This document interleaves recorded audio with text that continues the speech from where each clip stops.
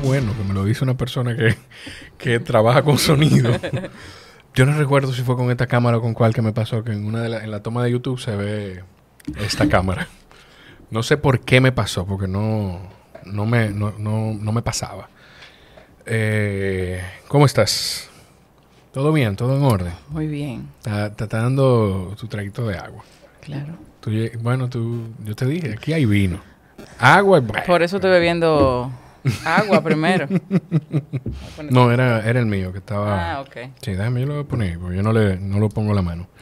Eh, qué bueno, qué bueno tenerte, qué bueno que, que pudimos, que fue tan fácil coordinar, bueno, fácil de tu lado. Yo debo pedir disculpas. Pero qué bueno que fue tan, tan cómodo poder coordinar. Claro. ¿Y cómo yo te voy a decir que no? Imposible. No, yo estaba esperando. Aparte. Ajá. Eh, yo te he dicho que tú eres de las voces que más disfruto escuchar. Entonces, como, como yo disfruto lo que tú me dices, tú me puedes hablar mal y yo, ah, ok, no hay problema. Si me lo dices en ese tono.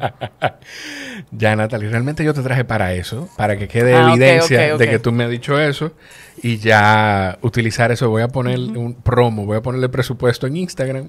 Miren lo que dice Natalie Jacín de mi voz. tú me dijiste algo, cuando Sí. yo te invité,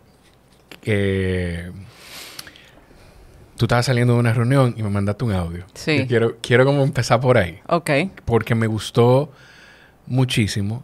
Yo voy a decirte lo que yo te dije, yo voy a compartir lo que yo te dije cuando escuché tu respuesta y la gente va a entender por qué yo dije eso. Yo dije que por eso la gente que trabaja las cosas que tú trabajas, Sí. y eso incluye, además de la música, pues tu agencia, debe ser sensible. Por lo menos la gente que hace bien ese trabajo. Debe ser sensible, el trabajo creativo. Eh, y por eso tú lo hacías también. Entonces, dile a la gente, por favor, lo que tú me dijiste. Si tú te acuerdas más o Que no menos me acuerdo, en qué contexto. Tú estabas saliendo No me- de una de una reunión de un documental. ¿Tú te acuerdas? Te puso un aprieto. Eh, bueno, estaba saliendo de una reunión de un documental, pero no me acuerdo qué fue. que- Ah, bueno. No, no me acuerdo. No, pues, pues, yo, yo creo que se puede poner, Creo ¿verdad? que Porque sí. no se dice, ni siquiera se dice, "Uah, siempre hay una forma nueva de empezar mi podcast. Eh, no se dice nada de la marca con la que tú estabas eh, tratando, ni nada. Y además soy yo que edito esto, o sea que no importa. no, le dice. Perdóname que no te había respondido. ¿Te parece si nos juntamos? Eh, o sea, si grabamos el, la, ¿qué día es martes? El jueves o el viernes, cualquiera de los dos Fue ahí, días. fue ese audio. Dime la hora y ahí Sí, estoy. yo creo que sí. Ahora salí de una reunión hablando de un documental que quiero hacer y era como que, wow, qué, qué bonito y qué raro es contar la historia una y otra vez, una y otra vez. Y a veces uno cuenta historias para desarmar el corazón de uno y volver a armar el corazón para querer seguir contando historias. Parece como poético, esa es la realidad. Eso es. Eso Sí, fue, eso fue lo que sí. me dijiste que me inspiró a decirte eso. Sí, sí, es verdad. Eh, Ahí está corriendo. Ajá, Eh, se ahí quedó- termina. Ahí termina. Pero la básicamente que uno como que se eh, tú ves cuando a ti te dan mucho eh, muchos golpes en- en- y tanto literales cuando estás entrenando Sí.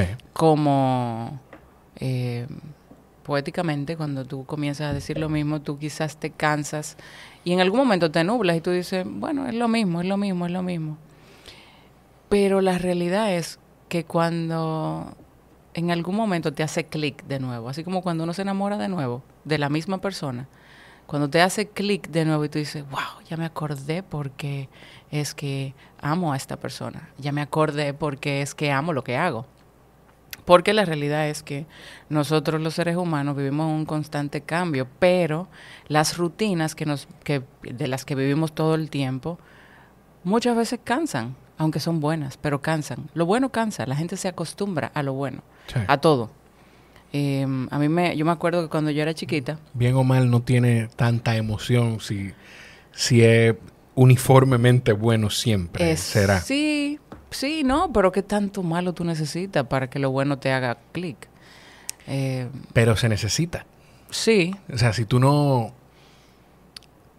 la luz es luz porque, porque opaca la oscuridad, porque arropa la oscuridad. O sea, sin, sin esa, sin esa oscuridad, tú no apreciarías la, luz. Y cuando llueve y tú te encanta la lluvia, pero cuando tú tienes una semana que está gris, tú dices, ¿cuándo va a salir el sol? Exacto. Claro.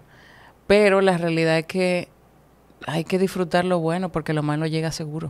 Seguro. Entonces yo escuchaba, me escuchaba contando la historia. Y quien me estaba escuchando decía, wow, pero sí, sí, a ti te han pasado muchas cosas. Pero como me lo decía, no era de pena, era de qué increíble que aún así tú quieres seguir. Porque tú mejor que nadie sabes que yo soy multitrabajo. Sí. Tengo muchas cosas. Y eso lo tengo, primero porque me gusta trabajar y segundo porque el arte que hago con la música no se paga solo. Entonces es como una inversión. Todavía. Eh, todavía, es como una inversión. Porque estoy loco por darme un traguito de este vino. Gracias, salud. Salud. Y estoy seguro que, que tú también. Es una inversión. Entonces toca enamorarse y reenamorarse de las cosas. Y en mi caso, a veces me pasan cosas buenas y yo no las, no las, no las disfruto, o sea, no las, no me paro a disfrutar eso y seguir. Y, y escuchándome, me volví a enamorar de lo que hago. Me volví a enamorar de cantar, me volví a enamorar de, de componer, de sentir, de los no para que te digan un que sí. Claro. Y, pero todo eso pasó ahora, cuando pasé este concierto de los 10 años. Que yo me sentía tan plena, Se te veía así. tan que ese era mi espacio, el escenario. Pero mejor que, que un señor que no me conocía en el escenario, la verdad, él fue con acompañar a alguien y, y se acercó a mí y me dijo, yo nunca me había sentido tan cómodo en un concierto, con tanta gente que pareciera como si, como si el artista le estuviera cantando a una sola persona. Tú bebías en el escenario, hablabas en el escenario, parecía que no tuvieras un guion o te saliste del guion. Y la verdad es que yo me sentí igualito. Yo no, yo no, yo no me voy a ir por ahí porque hay Claro, cosas que- o por lo, o por lo que te voy a preguntar, te estoy poniendo bajo aviso. Por lo que te voy a preguntar, no me voy a ir. No sé Todavía. si- todavía, Ajá. porque no sé si vayamos a caer ahí. Pero eh, la verdad, yo te lo iba a decir. Cuando tú dijiste que te sentías tan plena, lo que yo iba a decir es que tú- yo te sentía en tu elemento. Sí, O sea, como que era... Ese es el lugar donde tú tenías que estar. Ese era mi espacio. Ese era tu espacio. Sí. Lo que sea que te había pasado construyendo tu carrera en todo ese tiempo, te a- estaba preparando para tú lucirte de la forma en la que te luciste en ese escenario. Pero todavía un poquito más atrás, para que tú veas la importancia del contexto, cuando tú me estabas contando eh, lo que me dijiste en el audio, yo no sabía que tú me estabas hablando de el documental, de tu del que hemos estado del hablando en algún momento. Exacto. Exacto. Tú ves, tú decir eso así, ya yo sé que hay cosas que yo no puedo, que no se bueno, pueden- lo que pasa es que que... no pueden salir a a revelarse No, aquí. podemos decir cosas, inclusive... eh, bueno, lo que pasa es que es el, un documental es una historia que se construye. Claro. Y se va construyendo con la misma vida. Sí.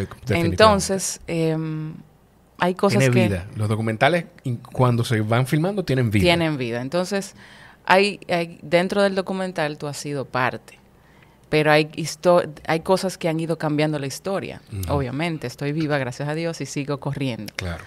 Em, y por eso fue que te dije, pero todo lo que podamos hablar, yo te puedo con- contar, lo que pasa es que no tiene fecha todavía. No, claro. Y, y me imagino entonces que por esos cambios es que no tiene fecha todavía. O sea, pasaron, porque hubo un momento en el que sí tenía una fecha un- o una estimación, ¿no? Sí, y todavía sigue este año. La- pero lo que pasa es que para mí no es sacar piezas por sacar piezas. Claro. El- un documental debe de no solamente contar una historia, sino tener algún tipo de quiebre y emoción. Pero obviamente el- el- la figura principal soy yo. Y si tú dices, bueno, ¿de qué es el documental de mi vida? No. Pero yo estoy ahí. Claro. Yo soy como la parte que cuenta un hilo conductor, pero hay muchas otras cosas que se van formando alrededor que me enseñan a mí. Entonces, por eso digo, ¿qué historia yo quiero contar? Hay mucho que yo puedo decir. Como yo, como quiero ser muy cuidadoso, Ok. porque Eh, como yo lo... Con la poquita información que yo tengo, como yo lo percibo es, eh, desde afuera, eh, bueno, no sé si es justo decir que con un pie afuera y un pie adentro, Exacto. digamos. Con un, exacto. Eh, es que tú eres una especie, bueno, tú lo dijiste, tú eres un hilo conductor que enlaza muchas vidas de personas, algunos que saben que tú, que, que tú eh, los conectas de alguna forma, que tú, está, tú eres eh, hay, hay alguna película o alguna ley universal o de la vida, de esa que como la ley de Murphy, que la gente se inventa, o no sé si esto es un invento. Dice, tú estás a dos, tú estás a dos pasos o a dos personas de todo Los el seis mundo. grados de separación. Seis grados de separación. Sí, seis grados de separación. Me Bueno, lo pero- dicen mucho. Me dicen que yo, yo tengo todos los grados. Eh, Sí, bueno, pues me, dicen. entonces, me han dicho. para mucha, dentro de ese documental, como yo lo veo, es que sí, tú estás ahí, tiene, tú eres de una forma u otra la razón por la que ese documental ocurre, y tú eres tú- el grado de separación de mucha gente, de Sí. mucha gente que sabe que tú eres el grado de separación Sí. entre un cantautor, un músico, una productora, una maquillista, eh, o, o una estilista y uno de los productores musicales más importantes de la historia de la música hispano, Sí. hispana. Eh, hay gente, hay algunos de esos actores que lo saben. Hay Sí. otros que ni se lo imaginan. No. Entonces tú eres eso dentro de, o sea, tú eres como esa, esa conexión. Sí, y, pero lo interesante de todo para mí, de- del proceso en el que yo estoy, es descubrir qué tanto yo he hecho y que si este es el final, por ejemplo, yo estoy satisfecha. Yo quiero más, quiero mucho más. Pero, pero la verdad es que yo he hecho tanto con mi vida, o en mi vida, y he trabajado tanto, que, que cuando yo me, me siento un momento, yo, yo veo alrededor mío y yo digo, wow, Dios mío, gracias. Porque a pesar de todo, yo tengo y he tenido y he llorado mucho porque el crear cuesta, Sí. cuesta económicamente, cuesta emocionalmente y racionalmente cuesta. Em, Y emocionalmente, no nada más en tus emociones, las en las emociones de las personas que tú le dejas de dedicar tiempo y Sí. espacio a esas relaciones que pueden ser sentimentales, familiares, profesionales, para mi tú mamá, dedicarte mi a tu mamá camino. me dice, tú trabajas, mi hija, como si tú tuvieras 10 hijos que mantener. Yo le dije, mami, eso no tiene nada que ver con, con mantener hijos o con, o con querer más y más. No, lo que pasa es que hay una responsabilidad en lo que yo quiero hacer. Exacto. y no me puedo quedar acostada para eso. Y soñar, la gente dice que soñar no cuesta nada, soñar cuesta y cuesta mucho. Si tú quieres soñar, ya comenzaste a trabajar. Y si tú quieres soñar y no hacer, tú no estás soñando, tú eres un vago. Pero si tú sueñas, el que sueña con conciencia y con propósito, hace. Y yo estoy soñando y haciendo. El problema es que, como tengo multisueños, tengo que hacer mucho. Tú no te sientes, tú nunca te has sentido... Dios mío, déjame abrir esto hacer mis anotes, porque ya hay tres, cuatro preguntas que tú me, me has Ok, sacado. ok, ahí. ok. Eh, ¿Tú nunca te has sentido con algo de culpa de por querer perseguir todos, todos esos sueños con propósitos? Sí, muchísima. Porque mm, tener, eh, no, no, no tengo tanto espacio. Y la verdad no es muchos sueños, es que el, eh, un solo sueño está aislado a otro. Porque mm, yo estudié publicidad, estudié ballet, fui bailarina de ballet. Y por el ballet, por el amor al ballet, a la música, al arte, yo estudié comunicación publicitaria. Y de la comunicación publicitaria, entonces, pasó la música al mismo tiempo. Entonces, yo decía, yo quiero tener una agencia publicitaria que valga la pena estar ahí. Y que todo el que quiera trabajar con pasión pueda venir aquí. Porque a mí me dieron una oportunidad sin nada. ¿Quién te dio esa por- oportunidad? Hay un cliente, una marca muy, muy conocida. Tú, una cosa. Aquí, yo creo que tú lo sabes, pero igual te lo, te lo reconfirmo. Aquí tú Sí. puedes hablar de todas las marcas y todo, todo lo que tú quieras. Sí, sí. O sea, sin problema. Bueno, hay una... La verdad es que a mí me dieron una oportunidad en un, un club de vacaciones de hoteles por una tarjeta de presentación que estuvo bien hecha. Yo le hice una tarjeta de presentación a una tienda que hoy en día sigue, sigue disponible en Santiago. Y esa tarjeta de presentación la vio el presidente de ese hotel. Y ese club de, va- de vacaciones le preguntó, oh, ¿y esa tarjeta tan bonita? Ah, me lo hizo una muchacha que tiene una agencia publicitaria pequeña. Esa agencia publicitaria era mi habitación.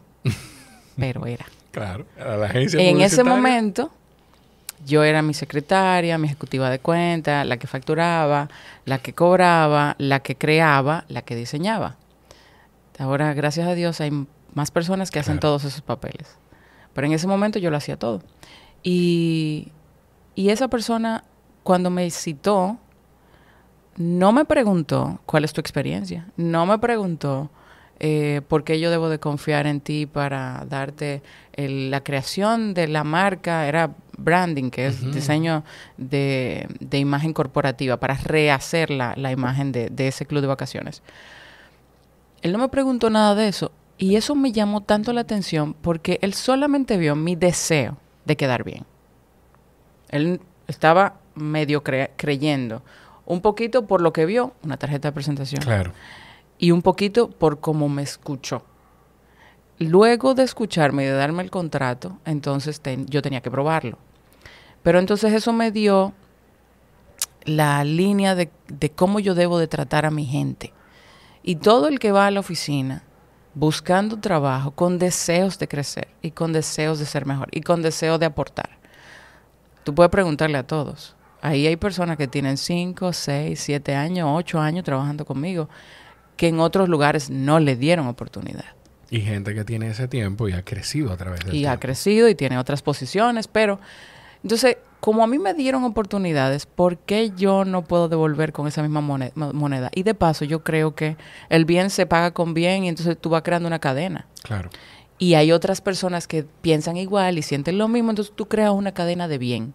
Porque si tú solamente le das la oportunidad a quien ya se supone que tiene experiencia, lo primero es que tú no estás agregando ningún tipo de valor en el mundo.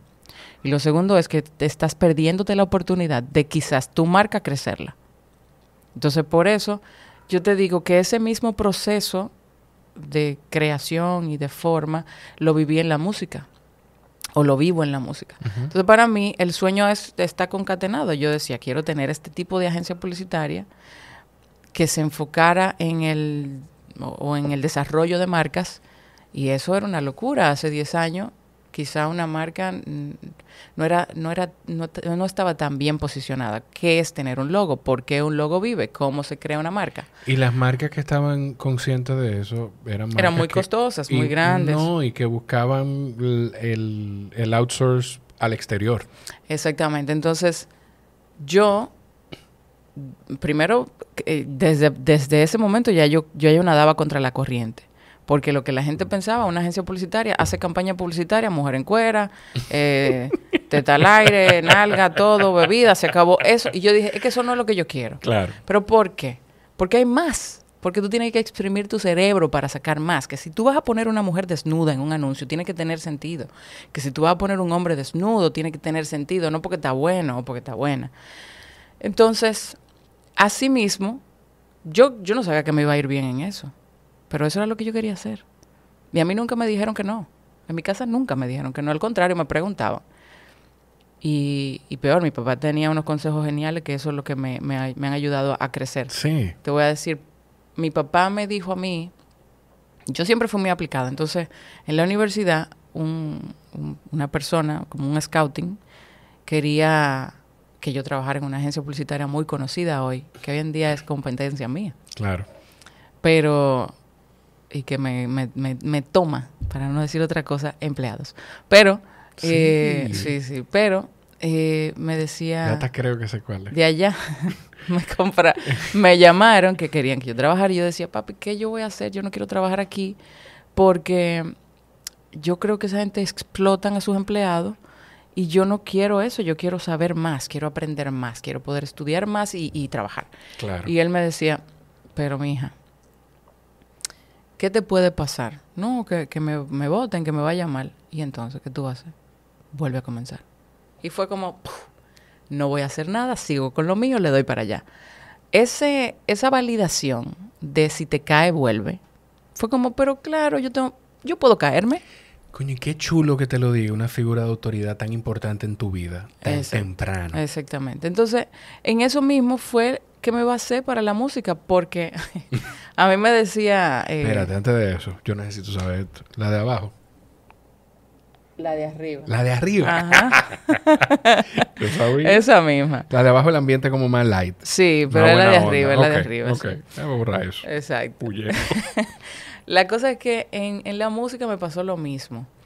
Y mm, yo comencé haciendo canciones basadas en easy listening, que es eh, un género musical que se popularizó en los 50, 60, 70, que se enfocaba en el en, en la base de, de la música era la melodía Ok. la instrumentación era la voz y todo lo demás era adorno suave, simple. Entonces yo comencé a cantar así en bares, en restaurantes. Y, y después la gente comenzó a decirme, ¿y tu música? Yo no sabía quién escribía, si yo podía escribir, si había un productor, yo no sabía nada de eso. Y, y yo dije, bueno, yo escribí en el colegio cartitas y cosas, entonces déjame ver. Cogí una mascota y yo vi algo que yo escribí sobre la transparencia del mirar bien. Em, y eso se volvió una canción que se llama El espejo de tus ojos. Y en la que yo creo, hoy en día creo que la mirada, como tú me mires, me dices, me dices muchas cosas sin tener que hablar. Y que es raro que yo te lo estoy diciendo y lo estoy cantando. Pero, pero se supone que no debería de decírtelo porque es la mirada. Entonces esa, Claro. esa, esa como dualidad de las palabras me fascinaba. Y yo comencé a escribir esa canción por eso. Y, y yo dije, bueno, yo voy a hacer balada. ¿Tú crees que yo estaba pensando que si eso era un género popular, Si deja, que si eso me iba a hacer famosa, que si, que si eso me iba a dejar dinero? Yo creo que cuando tú comienzas a pensar en qué negocio te da dinero, porque la música es un negocio, ya perdiste. Porque entonces no la vas a hacer nunca por, lo, por las razones correctas. El dinero es una consecuencia del trabajo Exacto. pero no siempre es la consecuencia del trabajo, porque hay gente que trabaja mucho y lamentablemente no le fluye por X o Y. Pero la realidad es que cuando tú trabajas con pasión, lo que tú quieres, te llegan, tú siembra y cosecha, siembra y cosecha. Yo le digo eso todo el tiempo a los muchachos que van a la oficina buscando trabajo y algunos que se van, que, que renuncian y yo le pregunto, hay una generación, la generación creo que la Z, Ay, sí. Ya yo lo estoy viviendo. difícil. He Yo le digo. ¿pero por qué? ¿Qué pasó? No, es que yo estoy en un momento de, de, de que quiero crecer más, tengo que dar más. Ya, ya di todo lo que iba a dar. Tenía pero dos tú, meses en pero tú tienes tres meses aquí, tú lo diste todo. ¿Cómo tú lo diste tú? Yo tengo 10 años dándolo todo. Todavía me falta, me falta por aprender. Entonces, em, yo creo que en todo esto, lo que sí es una constante es que yo nado contra la corriente. Eh, sí, sí, y, y con, como tú dices, de, del trabajar, de trabajar y que quizá la consecuencia que no todo el mundo se junta con, con el dinero, y digo se junta siendo muy ligero con el término Claro. porque hay que trabajar. Claro, Yo creo que muchas veces yo siento, primero la vida no es, no es, no es una fórmula, no es haz esto, no. No. puede ser solo eso. claro. Tú tienes que también hacer un proceso de introspección, de ver si tú estás trabajando bien o no. ¿O no? Y, Porque no es trabajar muchas horas. y trabajar con paciencia Exacto. y con, con constancia. Porque de verdad, si tú estás haciendo la cosa bien y tú estás consciente de que haciéndolas bien todavía pueden ir mejorando, pues al final el resultado va a llegar. Sí. Yo me he escuchado diciendo esto muchísimo aquí, pero Pero es verdad. es porque yo lo estoy viviendo. Yo y lo lo, estoy y viviendo. lo veo en gente como tú y lo veo en muchísimos otros resultados de personas que, que aprecio y admiro. No se me olvidó lo que te iba a preguntar, eh, que te anuncié que no me iba a ir por ahí. Hubo, tú me dijiste que hubo un señor que estaba acompañando a alguien que no te conocía o no conocía tu música y que se sintió, que no, que no, dijo que no podía creer que se sentía tan cómodo Sí, porque sentía que tú le estás cantando a una persona en un lugar donde había tanta gente. sí. Estaba ahí la persona a la que tú le cantas alguna de esas canciones. Ah. Porque debe haber algunas de esas canciones que sí son. Que tienen para alguien, nombres. que tienen nombre. Sí, la- las, todas mis canciones tienen nombres. cuando digo nombres, no es que en una canción hay multi, Sí, sí, ¿verdad? sí. Porque Aclarando, fuerte, por si- aclarando, Bueno, puede ser, pero, es- pero no es. Pues somos hijos de la vida. o sea, Pero no Y es. pudiera ser. Pudiera ser y es un error. ¿Por qué? Porque tener, mira, tener muchos cartones es un problema.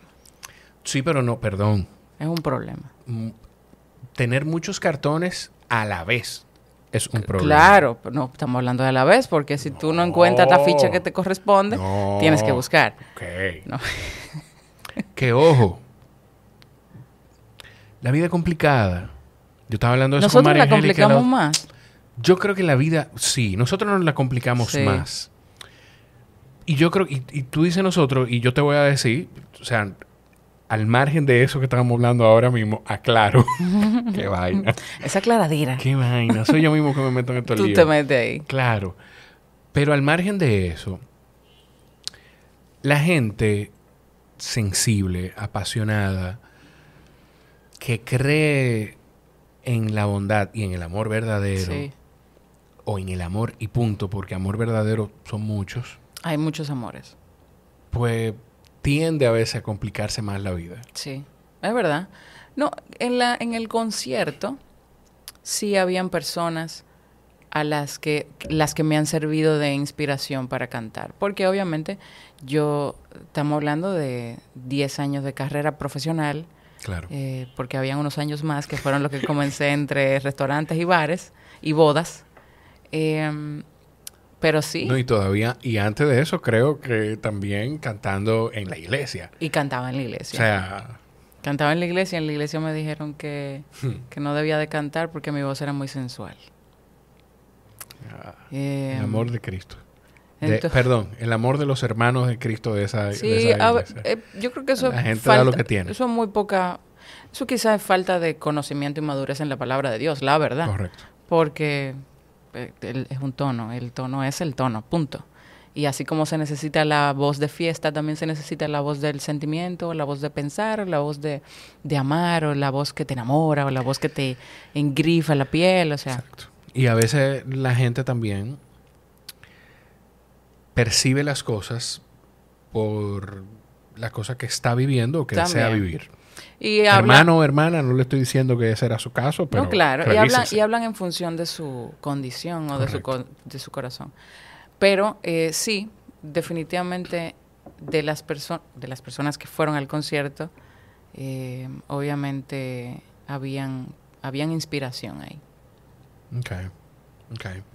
Eh, me encanta. Pero obvio. Me encanta como, me encanta como tú dices. Había inspiración ahí, pan. Y fíjense que esta es la única pregunta en la que Natalie no ha abundado, no, se ha No, extendido. porque, no, porque, ¿qué voy a decir? No, no, no, pero tranquila. Tuve yo mi, mi maestra Adele, eh, que yo en algún momento, yo, yo, yo he alado eh, con el poder de, Atracción. de la atracción y de la energía cuántica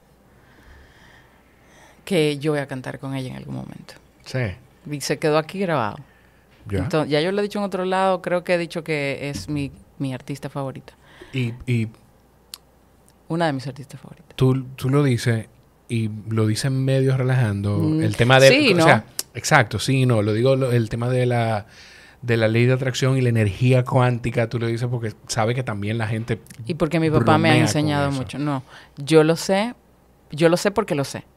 Yo hablo de la energía cuántica, yo hablo de la energía y de las vibraciones. Nosotros somos energía. Sí. Entonces, lo que pasa es que tú no la puedes ver, pero existen máquinas que te dicen, que te muestran la energía, las ondas corriendo. Pareciera una locura, pero es una No, maravilla. no, no. Y, y para, Y- el que, para el que tiene cualquier duda, o sea, la, la ciencia... voy a decir algo. Lo comprueba. La ciencia lo comprueba. Pero te voy a decir algo todavía más eh, donde yo lo, lo pude sentir. Este concierto, que no me canso de hablar de él, fue... Es que fue, fue para mí renovador en mi espíritu, en mi corazón, en mi deseo, en mi condición de querer seguir echando para adelante, dando la pelea. Estoy hablando de que en un sitio, yo tenía dos años sin cantar en vivo, of- oficialmente sin cantar Sí. en vivo, conciertos míos. Claro. Eh, dos discos que no había cantado en vivo nunca. Un venue, un lugar al que yo solamente he ido siendo telonera de alguien. y ahora iba a ser solo mío. Y de paso, la gente preguntaba, wow, ¿tienes concierto? ¿Y con quién más vas? Entonces, eh, eso me daba poco, un poco de miedo. Y así, esas cositas, más las batallas internas que tengo yo que tener con mis propios miedos y mis propios complejos y, y, y con el equipo de personas que están tirando para adelante la batalla conmigo y yo me estoy muriendo del miedo. Entonces, todo eso yo- mi papá todos los días, mi mamá, eh, todo el grupo de familia, de amigos, de primos, eh, hablando del concierto, te va bien, Dios lo va a reventar, estamos para adelante, déjame ver cómo va la taquilla. Entonces yo decía, en vez de yo sentirme mal o con vergüenza, que puede pasar, porque yo soy yo y tiene que pasar, yo sentía un nivel de compromiso con todo el mundo que me hablaba de esa manera que lo único que yo recibía y todos los mensajes que yo recibía de gente que viajaron hacia República Dominicana, de Chile, de Costa Rica, de Ecuador, de Nueva York. Y yo decía, pero esto, o sea, peor, porque en vez de ser mejor es peor, porque tengo La una presión, más, grande. Claro. Pero todos los mensajes de todo el mundo eran en un 99.9% positivos.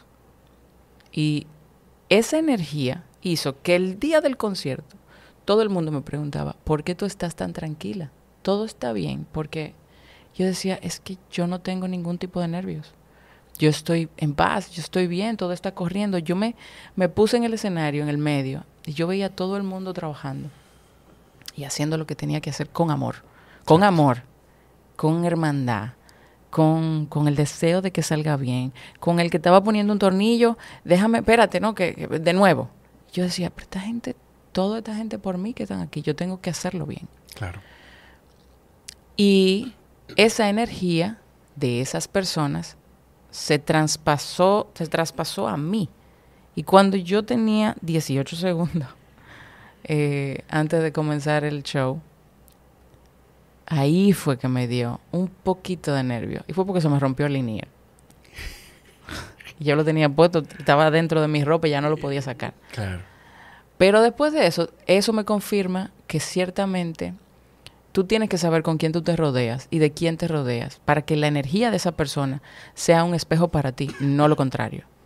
Porque hay veces que uno quiere estar con personas alrededor porque te convienen a nivel de, amis- de amistad, no, a, a nivel de, de- de socioeconómicamente, Claro. eh, pero te daña, eso daña. Porque es como que la energía no pasa, no respira. Si tú lo piensas así, es como una pared. Entonces, tú tienes que saber con quién tú te rodeas. Yo invité a algunas personas al concierto, pero yo invité solamente a la persona que yo sabía que su presencia me iba a hacer bien. Sí, sí, sí. No, no, que yo soy llorón, Nata. yo soy llorón. Y, y, y de verdad, a mí me... Mira, el concierto para mí fue espectacular. Y, y fue una experiencia bellísima porque, de nuevo, pues de alguna forma yo tengo algo de insight pequeño del trabajo que ustedes hacen. Y, y por eso yo te veía en el escenario, pero también me volteaba a ver la producción. Claro. Porque vele la cara al equipo. Todos. Vele la cara a Oscar, vele la cara a Mariel. Vele, o sea, vele, ve, ve la cara del equipo de, de lo que Lo estamos haciendo. De verdad. Y se terminó y yo, todos nos paramos a aplaudirte, pero también yo, y hubo un momento donde yo me volteé a ellos y, óyeme, se la comieron. Porque e- esa energía de la que tú hablas, tú se la transmites a ellos, ellos la siguen transmitiendo hacia adelante. Y, y- y yo estaba pensando como el ambiente de comunidad que yo veía antes de que Sí, se abrieran las sí. puertas.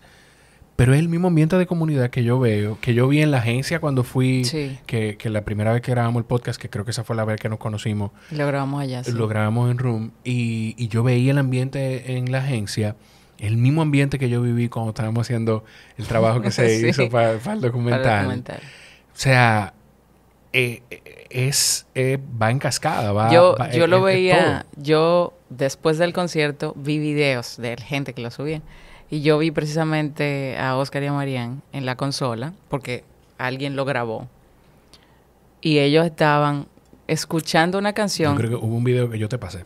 Creo, de eso. Pues sí, yo creo que sí. Entonces yo estaban, yo, ellos estaban como cantando la canción y haciendo gestos como que, Aquí ok, casi ahí es, eh, eso eso. es, lo logra. eh, y, y era como, wow. sí. Sí, Sí, sí, sí, sí, sí, sí, sí. Óyeme, de verdad que fue y, y yo tengo un sesgo muy grande porque de verdad yo, además de respetarte muchísimo como artista y admirarte muchísimo como artista y como trabajadora, pues te, te tengo muchísimo cariño, te tomo mucho cariño.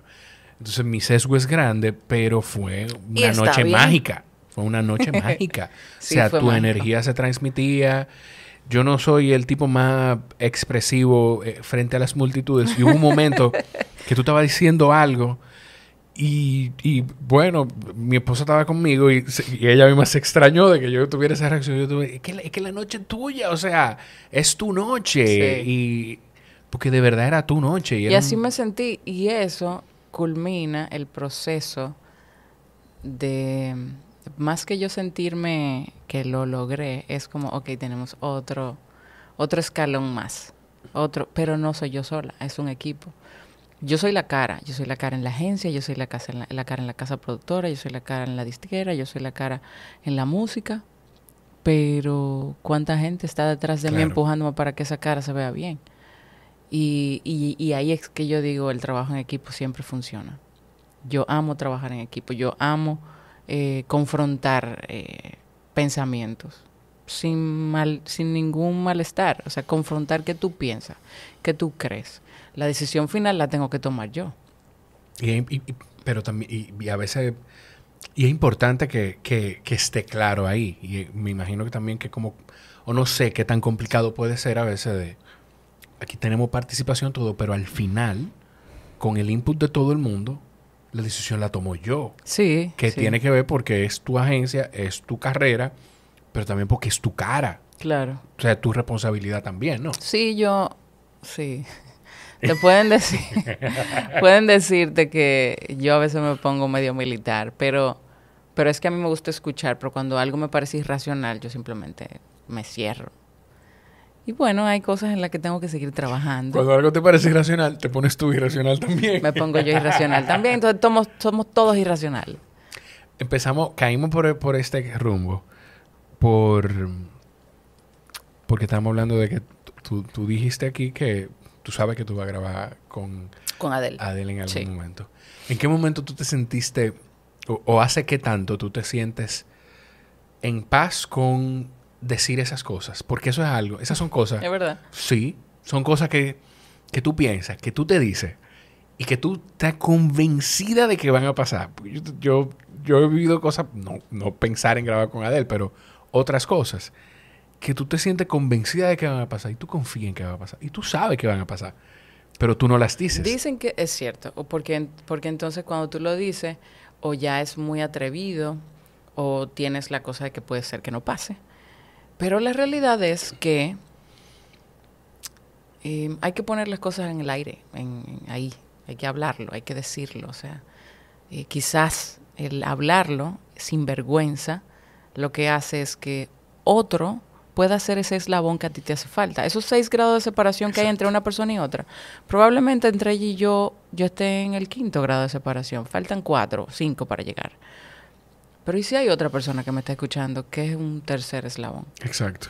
O en su defecto,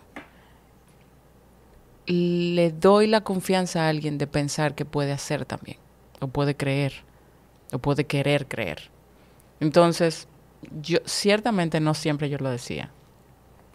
Yo siempre, o sea, en algún momento decía, mi artista favorita es Adele. Claro. Me encantaría ver a Adele. O sea, quisiera estar cerca de Adele. Quiero que sea mi amiga. Y sonando por dentro, porque yo voy a cantar con Adele. Exacto. seguro que voy a cantar con Adele, Exacto. Claro. Pero yo creo que uno comienza a tener eh, más conciencia de quién eres cuando estás presente y no te importa el otro tanto. Y yo estoy presente en mi vida, o sea, yo, yo sé hacia dónde yo quiero ir. Yo- hay, tantas cosas que quiero hacer que, que no sé si me da el tiempo, pero el tiempo, el tiempo de la gente común eh, quizás no es el mío. Yo quiero, yo quiero cantar en, en otros escenarios que tengo en mi cabeza. Quiero llegar a otras premiaciones porque mi, mi, mi equipo se lo merece. Que por cierto, Natalie, bueno, yo no sé si había una parte del- de, los votos, creo que la- las votaciones se cerraban creo que sí. hoy o ayer, pero Natalie está nominada con álbum del año eh, con Desde Cero. Con Desde Cero So, y con Amorosa. Y con Amor. uf. Amorosa 2021 y Desde Cero 2022. Para mí es como álbum del año ambos, es como una locura. Qué amorosa es. eh, tenemos que hablar de eso. Eh, entonces, nada, ya saben, ten pendiente. Esa bonita energía, mándenla y compártanla.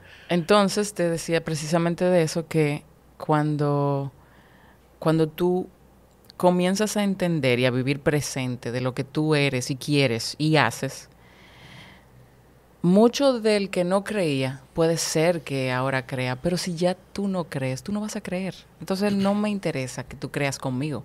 Hay Claro. alguien que sí va a creer. Eh, y eso me pasó desde hace mucho tiempo, porque imagínate, comencé un proceso de una agencia publicitaria sin experiencia. Comencé a cantar sin experiencia. Y me decían, ah, eso es un hobby. Ella se cansa. La rubia se cansa. es un hobby. Esa palabrita. Sí, sí, sí, es un hobby. No, pero yo soy cantante. Sí, pero ¿qué más tú haces? Es como, soy cantante. Eh, y, y con el tiempo, eso de, ah, que ella ahora quiere ser cantante, pasó a ella es artista. Pero después, esas mismas personas que son cercanas a uno, porque usualmente el que te pone un tropiezo son gente cercana. Que y el que no cree, y el que no cree, usualmente es muy cercano a ti. Sí. Porque el que, el que te da la oportunidad no te conoce, usualmente. Y eso tiene mucho que ver por el temor de la otra persona. Uno es un reflejo del otro, Claro. como un espejo. Entonces, en el momento en el que yo comencé a creerme mi propia película, no la mejor película, Claro. sino la mía, en la que yo me caigo, en la que yo me levanto, en la que las cosas no me salen bien, en la que yo a veces no soy la protagonista de mi película, en la que la princesa no se queda con el príncipe, en la que tú pierdes muchas cosas. Entonces, cuando yo me comencé a creer mi película y a querer vivirla, entendí que yo puedo seguir diciendo y- lo que quiero y decirlo y entenderlo y creerlo. Mientras yo esté viva y Adele esté viva, está la posibilidad. Definitivamente. Entonces, ¿por qué no? Definitivamente. ¿Cómo, ¿Cómo tú te haces entonces con... Tú decías en un momento de... Y ahorita Adele oye, ¿tú crees que yo soy un stalker? Uno no sabe... No, pero te voy a decir algo. Uno no sabe. Eh, uno no sabe. Uno no sabe. Aunque a- a- por yo te escucho y me siento... Yo creo que esa nuestra energía se parece y por eso conectamos y me siento identificado y reflejado con muchas cosas. Y por eso me atrevo a decir que tú tienes tu impostor ahí que te acompaña y que te hace ser mejor, pero también te, te, Claro. te, te- te castiga.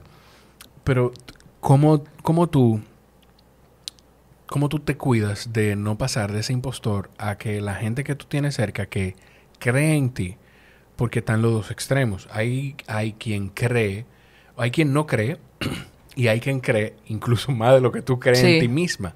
Entonces, Sí. ¿cómo tú no, cómo tú te mantienes aterrizada con eso y, tú, y, y no te dejas llevar de la cosa bonita que te dicen esas personas que están cerca y la cantidad de gente que me imagino que te tiene que escribir de lo gran artista que tú eres, Sí. de lo bonito que tú cantas y Yo no, todo? pero es que yo creo que tiene mucho que ver con, con no creerse, eh, con no creer más de lo que es. Mira, hay personas que me ven a mí como un ejemplo a seguir. Yo veo a otras personas como otro ejemplo a seguir. Entonces, esas personas que para mí son ejemplo, ven a otra persona que es su ejemplo. Claro. Entonces todo el mundo tiene un escalón. Y yo no estoy en ese escalón de ahí arriba. Pero cuando yo esté ahí, va a haber otra persona. Entonces, si tú te, si, si, si tú crees eso, si tú ves eso, tú siempre estás aterrizado. Porque tú nunca vas a ser la última Coca-Cola del desierto. Y como estás consciente de que Tú siempre que hay alguien consciente. más arriba. Tú tienes que ser consciente de que tú eres un agua muy rica, pero hay un mar. Eh, entonces, pues la realidad es que yo creo que tiene mucho que ver con, con mi familia, con mi papá, con mi mamá. Mi papá es un genio, mi mamá es una tipa súper adelantada para su tiempo y eh, cómo ellos se llevan, cómo, cómo, cómo se manejan.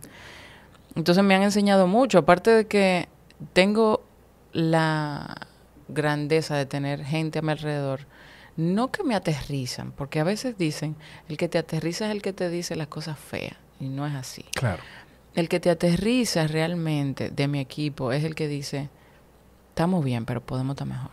Mira, vamos a hacer esto. O no te martirices, eso está bien hecho. Entonces, porque están los dos extremos. Cuando yo, a mí me dicen a veces, no, no, no, es que tú- a ti hay que a ti hay que ponerte una soga porque tú siempre estás corriendo, tú siempre quieres más, tú siempre le das para adelante, tú tú te tiras y después averigua. Pero también llega ese momento en el que yo dice, yo digo, ya no puedo más. Claro. No sé qué hacer, no no sé a dónde ir, siento que no me va a quedar bien y ahí entonces se voltean y dicen, "No, espérate, terapia para ti. Vamos." O sea que también como es como saber, por eso la importancia de, de- de los equipos, de, de gente que puede identificar Sí. qué rol tiene que jugar en qué momento. ¿En qué momento? Y yo creo que tú tienes, por lo menos, o sea, hay varias personas, pero por lo menos en Oscar y en Marian, tú tienes dos gente que, Dos locos. dos locos que primero nunca están conformes. Nunca tan conformes. O sea que, que por ahí, por ahí se camina. Eh, me da risa porque yo he tosido un par de veces y en el momento que tú y yo grabamos el episodio, si hubiésemos, eh, si hubiese sido en ese momento, estuviéramos asustados los dos. Es verdad, Sí, es verdad. sí, sí, sí. Eh, me- me- yo me acuerdo de todo eso. Sí, sí. Mira, el...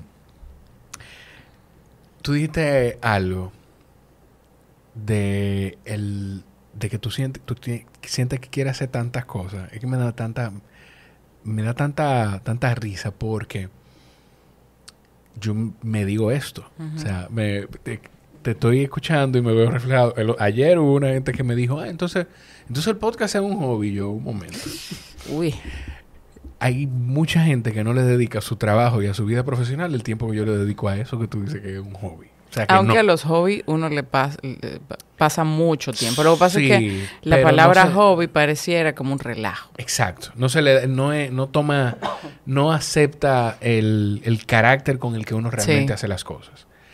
Pero te escuché decir lo del que no te dé el tiempo.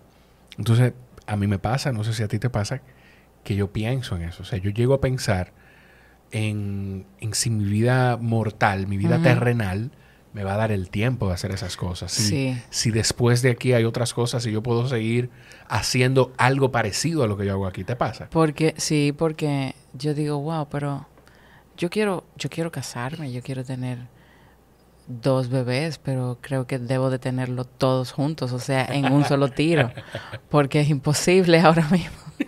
Eh, pero después veo a mi sobrino y creo que me quedo con uno. Bueno, si Dios me lo permite. Yo quiero, yo quiero tener ese momento de familia porque lo veo en mi vida, lo veo en mi casa.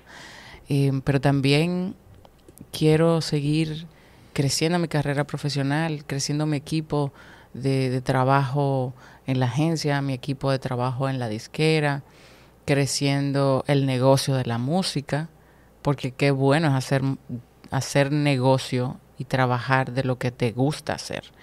Em, entonces yo comienzo a ver y veo el tiempo y veo el año y digo, ¿y ¿en qué momento descanso? ¿En qué momento voy a la piscina, a la playa? O sea, yo solamente descanso y eso no está bien cuando me enfermo, cuando mi cuerpo ya no, no aguanta, cuando no he dormido mucho, cuando que, que para mí si yo pudiera no durmiera. O sea, dormir es una pérdida de tiempo maravillosa, pero es una pérdida de tiempo Necesaria, para mí. necesaria, pero Entonces sí, yo lo pienso mucho, como que no me va a dar tiempo, pero también veo eh, videos que, que me salen todo el tiempo, gracias a Dios que me salen ese tipo de videos, que son personas que te dan consejos y, me y, y te enseñan personas que comenzaron a trabajar su sueño a los 50. a Harrison Ford 60. empezó a los Harrison treinta y Ford. tantos. Eh, Una pintora que es muy reconocida en el mundo entero, que se llama Abuela Rose, creo que a los 80 se hizo famosa. Entonces, como eh, tú, tú oyes eso y tú dices, bueno, es cierto, todavía hay tiempo. Mientras estemos vivos, hay tiempo. Ay, Dios mío. Va que yo no quiero llegar a los 80. va, y, y, ¿verdad? No quisiera tener que cumplir cosas a los 80, Claro. porque quiero tener, quiero tener ánimo. Sí, sí, sí. Tú decías de trabajar por el negocio de la música y yo siento, y no sé si tú eres consciente de esto o si lo haces, o creo que sí, que lo haces de manera consciente. tú trabajas por el negocio de la música, pero, y- pero no solamente por el negocio de tu música. No. Los pasos que tú das, tú los das pensando en, en, en quizá tu estilo de música o la música en general. Sí. Em, yo creo que haciendo mercado, tú creas mercado. O sea, creando procesos, tú creas mercado. Sí. Entonces, eso mismo se extrapola en la música, en el arte, en la ciencia, em, en cualquier arte. Y la realidad es que en la, en, en la balada, en la música romántica, en la música pop, así como en, la, en el reggaetón o en la música urbana, ellos crearon un conglomerado y ese conglomerado le dieron para adelante y empujaron y empujaron hasta que están donde están hoy. Eh, muchos baladistas se quedaron rezagados porque se acostumbraron al, al- al bienestar. Eh, y está bien, pero, pero por eso y por muchas otras cosas y porque el tiempo va cambiando y la música no fue cambiando con el tiempo o, o los arreglos no fueron cambiando con el tiempo, Sí. eh, pasó y, y todo es cíclico. Entonces yo creo que en la música, el negocio de la música está en que, en que no dejar morir un género que tiene mucho potencial. O sea, perdóname, Ana Gabriel abrieron ahora una tercera, una tercera fecha Y escuché a alguien decir, y se acabaron la primera en cinco horas, la segunda en tres horas y la tercera cuando se va. Y tú dices, eh, esto no es mercado negro, esto es que la gente quiere a Ana Gabriel. y Ana Entonces, Gabriel es... y estamos hablando de una gente que no tiene disco nuevo, creo. Para- no, no estoy segura, pero creo que no. Creo Y como quiera, la gente sigue escuchando sus canciones viejas. ¿De cuántos años atrás? No, Entonces, y- y- eso perdura. Exacto. Yo lo que quiero es que lo mío perdure. Lo mío y lo de otros. Porque yo soy una, pero hay otras artistas dominicanas que son baladistas, que son poperas, o sea, de la música pop, eh, alternativa también, mujeres con mucho valor, eh, con mucha gallardía y con mucha fuerza que estamos todas corriendo la misma carrera. Entonces yo quisiera que empujáramos todavía muchísimo más para que tengamos una posición y exposición en el mundo entero. Y tú tienes algo en común, que era lo que, te, lo que, lo que iba a decir. Tú tienes algo en común con Ana Gabriel. Por lo que yo vi en el concierto. Sí. Mi música, No, no es que hay música se- para oficio. yo quiero. Pero sí, pero, no quiero. es eso. Ok, tienes otras cosas en común también. es que, o sea, yo vi gente de todas las edades en sí, tu concierto. de todas las Pero edades. de todas de las todas las edades. edades, desde niña de 7 años Sí. hasta señoras de, no sé, Y con Ana Gabriel, yo te aseguro que ese concierto no se llenó de señoras de la edad solamente. de mi abuela. No, O sea, claro que no. Para nada. Claro que no. Para nada. Entonces tú tienes eso en común con ella. Nos veremos allá. Ah. Una cosa, tú dijiste, cuando estábamos hablando de, de- de- del tiempo que tú tienes como en tu carrera profesional, eh, y hablamos de las oportunidades que se dan, que me encantó entender que, que de una forma u otra ese empujón quizá de la agencia vino como una primera oportunidad por una gente que vio tu trabajo. Sí, Si esa persona vio tu trabajo en una tarjeta de presentación sí. que y, y- y- e hizo que dijeron que esta persona trabaja muy bien, déjame, déjame, déjame llamarla. Fue una oportunidad. Pero entonces cuando estamos hablando de los bares y demás, tú también empezaste con una oportunidad ahí, Sí, que fue con Alessandro, ¿no? con Alexandro. Alexandro. Estamos hablando de Alexandro Seguí. Alexandro Seguí. Cantaba mucho en Fotobar, un, un bar que está en Punta Cana. que estaba, o sigue ahí. Estaba, creo que ya cerró. No, ok. hace más de 13 años. Y imagínate, Alexandro, un tipo, el de lo que dicen, un tipo que está buenísimo. Ya no, porque es mi hermano, pero... pero Y nos cae muy bien su esposa, además. Sí, y, y, y Julie, mía. Pero en ese momento era como, "Ay, este tipo con esta letra y con esta voz. Y él estaba cantando y yo nosotros lo íbamos a ver. Cuando yo digo nosotros, mis amigas del colegio, que todavía seguimos eh, siendo muy buenas amigas. Y yo en ese momento estaba empezando a, a querer cantar. Y ellas le decían, eh, él decía como en un momento, ¿quién quiere ¿Quién cantar conmigo? Pero eso lo decía normal, no lo dijo después, él decía, porque siempre venía mucha gente que cantaba muy malo, pero está muy bien porque a la gente le gusta ese proceso. Y entonces en una, ellos me señalan a mí Y él como que, bueno, está bien, estas mujeres están toditas borrachas seguro. Mentira, no estábamos bebiendo, pero estábamos en un bar. Claro. Eh, yo no bebía hasta muchísimo tiempo después. Esto fue después. Eh, em, y cuando él me sube al escenario, me dice, ¿tú quieres cantar Colgando en tus manos? Y esa canción estaba súper famosa y hoy en día sigue siendo muy conocida, Sí. de Marta Sánchez y, y de Carlos Baute. Sí. Y yo, bueno, sí, está bien. Y cuando yo comienzo a cantar, él, él se voltea y como que deja de cantar y dice, me están engañando. Tú cantas hace mucho tiempo. Y yo, imagínate, nerviosa. Eh, y de ahí seguí eh, visitando ese bar y seguimos hablando. Y después él viajaba a, a casa de teatro. Y en ese proceso, eso me encantó. O sea, ese momento en el que la gente conectó conmigo también y él conectó conmigo fue como, ok, esto también yo lo puedo hacer. Porque también te digo algo, as- aunque para generar la música que yo quiero necesito tener un multitrabajo. Como quiera que sea, ¿quién te ha dicho a ti que una sola persona puede solamente hacer una sola cosa? Claro. O se encasilla en esto. Ah, no, que yo soy abogado y no puedo ser pintor. ¿Quién dijo eso? O sea, son dos artes maravillosos que se complementan una con otra porque una te, te saca la sensibilidad y, te relaja y, te, y, y quizás vuelca toda esa energía negativa, positiva, de amor, de desamor, de amargue, en, en una pintura que se puede volver súper, supremamente famosa. Y en la parte del derecho, tú, bueno, o defiendes, o etcétera. Entonces, son dos profesiones muy bellas y ambas, aunque son tan diferentes, se complementan. Entonces, tú Sí. puedes ser una y otra.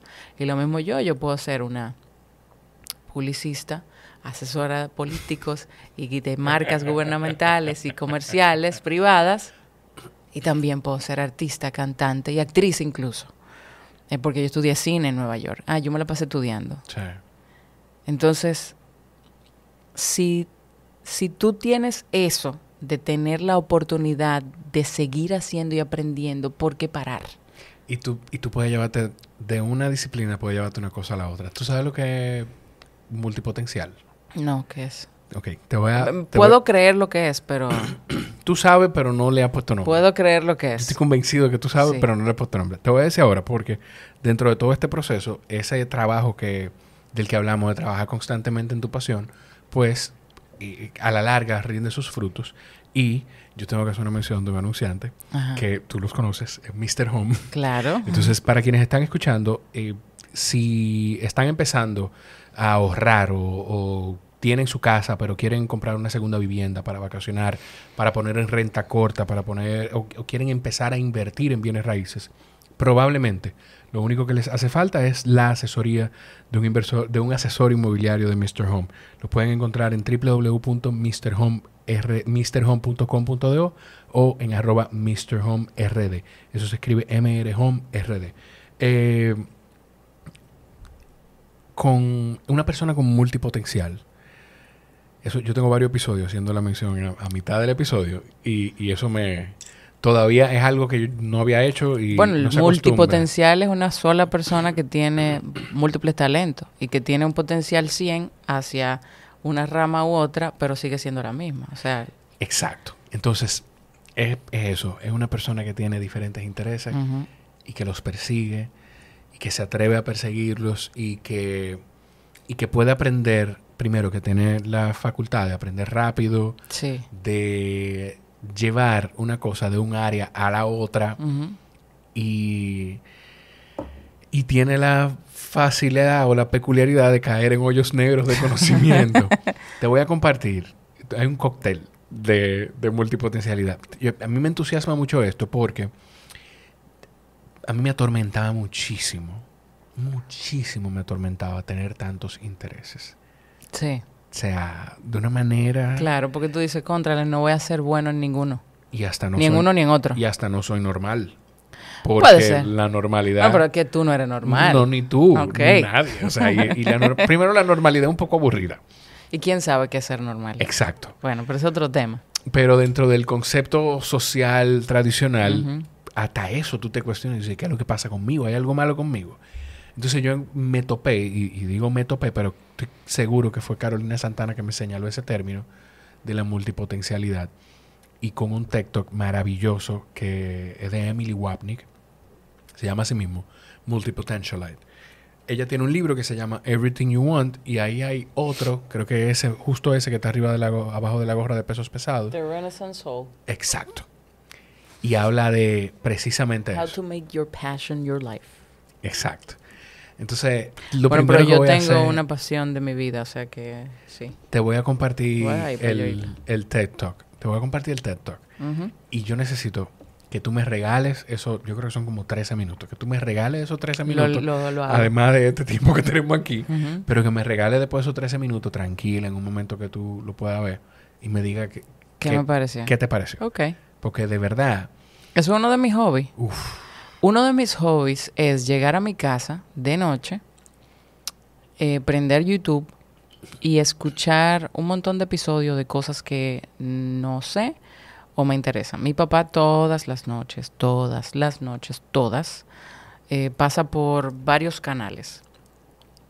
Canales de formulaciones químicas, porque él es ingeniero químico, de cómo preparar cosas canales de mm, la neurociencia, canales de la medicina eh, germánica, canales de las emociones y la disciplina de las emociones a través de y, y de, y de la de las medicinas, las emociones, la energía. yo casi eh, quiero pararte y decirte, tráeme a tu papá para Sí, grabar no, con él". y estoy segura que tú hablas con él y, y te embabas y te enamoras de sola- no solamente su conocimiento, sino lo que él puede proyectar. Claro. Porque eso me ha ayudado mucho a bajar eh, la revolución em, y a entender. Y él dice es que nosotros ahora que estamos comenzando a vivir, Sí. Em, y tú ves a mi papá y lo, y, lo, y lo puedes sentir que él está más joven, pero la, la jovialidad no es por un chabacanismo de que me pongo camiseta de tiguerito, no, no.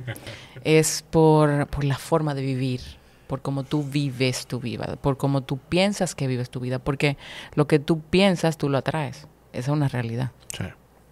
Y tú y, y las enfermedades que nosotros mismos nos provocamos es por por las emociones, muchísimas emociones atrapadas que tenemos y no lo sabemos. Entonces esos son de los temas que él ve y yo los veo a veces con él, Em, pero yo siempre veo biografías, eh, documentales, em, series de, de procesos de creación, Sí. em, documentales de biográficos de, de personas que, que no tenían y después tienen, porque eso alimenta el deseo que tú tienes de seguir creciendo. Y tú dices, bueno, sí, pero ese es uno en un millón. ¿Y quién dijo que yo no puedo ser el número dos? Exacto. Y hay varios uno en un millón. Hay varios uno Hay en un millón. varios uno en un millón. Te voy a compartir. Yo no he investigado tanto sobre él, pero en un libro que, que no he terminado de leer, se llama La, la psicología del dinero. Ah, yo sé cuál es. Hablan de. A- a- comparten algo de Charles de Gaulle. Yo no me acuerdo si en ese libro, pero yo sé que hablan de Charles de Gaulle y de cómo él, sin ser un actor político, decidió, deci- dijo, no, no, es que espérate, que el camino por el que, por el que Francia está acercándose a la Alemania nazi y a entregarse y a rendirse, ese no es el camino. Y se montó un avión y arrancó a sentarse con Winston Churchill. Ujú. En- y- Aquel tipo- verdugo. Sea, un tipo que no es Ajá. político, que no, sin relación, bueno, me imagino que tendría Tenía relaciones, sí. y, y terminó convirtiéndose de, de pasar de ser, pasó de ser el radical que la gente llamaba loco a un héroe en Francia. Y tú tienes que creerte esa película. Pero la película no se cree, no se cree sin base y sin cabeza. Em, y des- cuando tú dices eso de Charles de Gaulle, y mira que no es que yo me estoy comparando, pero la realidad es que veo el Así yo voy a reflejo. titular el, el- el episodio. Natalia Hassin se compara con Charles Bueno, de está Gaulle. fuerte. Y no está fuerte nada, porque él tenía su forma y yo la mía, pero el deseo, ¿verdad? Tú que ves- tú teníamos ves los dos. el deseo, perdón. Yo, cuando eh, estoy en el escenario, me convierto en Natalie la artista, la que, la que, la que esa es su casa. Pero cuando yo estoy en una, en un pitch, una exposición de agencia para Sí. ganar una cuenta, Sí. yo tengo todo el, el colmillo afilado. Y todas las frases y toda la palabra y todas las, las cosas de conquista de una marca para desarrollar en ese momento me están cruzando por la cabeza. Pero también, entonces, me convierto en, en una asesora de comunicación delante de tu tumpote político Sí. Que, muchas veces eh, pf, me resulta complicado porque eh, soy la única mujer entre tantos Sí. hombres. Y de paso, algunos son muy viejos, y, y no porque tiene problema que sea más viejo, pero no te dan cabida. No te dan cabida porque eres mujer y no te dan cabida porque tienen una, una forma de que me van a quitar mi espacio. Por, y, por, y, por, por- y por tu edad. O sea, hay mucha Sí. gente que por, por verte como una... Exacto, Sí. una muchachita que entienden que la edad les da toda la autoridad. A mí hubo algo que dijo Fafa Tavera aquí, que yo no lo voy a parafrasear porque destrozaría lo que dijo. Eh, pero esencialmente era de que, que tú hayas vivido cosas y que tú tengas muchos años, no te da la autoridad del todo de, de tú entender lo que pasa hoy. Hoy es un mundo yo, diferente. yo llegué a una, a una reunión en la que yo tenía que, que presentar un proyecto para que me contrataran ese proyecto, pero estaban, a ver, siete asesores. Y todos hombres, y todos con aquel conocimiento, y uh, ah, sí. Y bueno, yo comienzo a presentar, y cuando comienzo a presentar, uno de ellos, que es el, más eh, indecente, eh, porque la educación no te da sabiduría. O sea, la falta de educación eh, y la sabiduría que tú tienes no van de la mano. Son dos cosas muy diferentes. Educación y costumbres son cosas muy distintas. diferentes. Entonces, él comienza como a replicar la información que le diciendo, como a decirme, pero ¿y esto? ¿Y estos números? ¿Dónde salen? ¿Y esto? No? Yo le dije, mire señor, si usted no ha firmado un NDA conmigo, no me pregunte más. Esa información se la voy a dar yo solamente a una persona y no es a usted. Y todo el mundo se quedó ahí como, bueno, esta mujer no quiere el trabajo. Y yo lo que le decía, y después me dijeron, no, mira, excusa, lo que él tenía, él la verdad es que eh, lo que está es tratando de cuidar al cliente. Yo le decía, sí, pero ¿y dónde está su educación? Porque la mía era que me estaba maltratando. Y no te digo muchas cosas que dijo ahí, pero bueno. La realidad es que es complicado, pero tú tienes que creerte ese espacio. Tú tienes que tener la el control y la confianza suficiente. Suficiente, no más de ahí. Porque entonces te, te vuelves egocéntrico y se daña todo. Exacto. Pero tú tienes que tener los oídos bien abiertos y los pantalones bien puestos para poder enfrentarte a cualquier escenario. El escenario de la música, el escenario de, del arte, el escenario de, de las reuniones, el escenario de la agencia, el escenario psicológico también, porque en, en la agencia tú tienes que volverte eh, psicólogo de los muchachos, porque un día llegan tristes y otro día llegan Sí. incómodos y otro día... Entonces, a mí de todo esto lo que yo digo es, qué privilegio yo tengo de poder seguir haciendo lo que amo, compartiendo con gente que quiero y aprendiendo, que aprenden de mí y yo aprendo de ellos. Tú dijiste de, de creértelo y en un momento te he hablado de creerte la película, hace un Ajá, minuto largo sí. más atrás.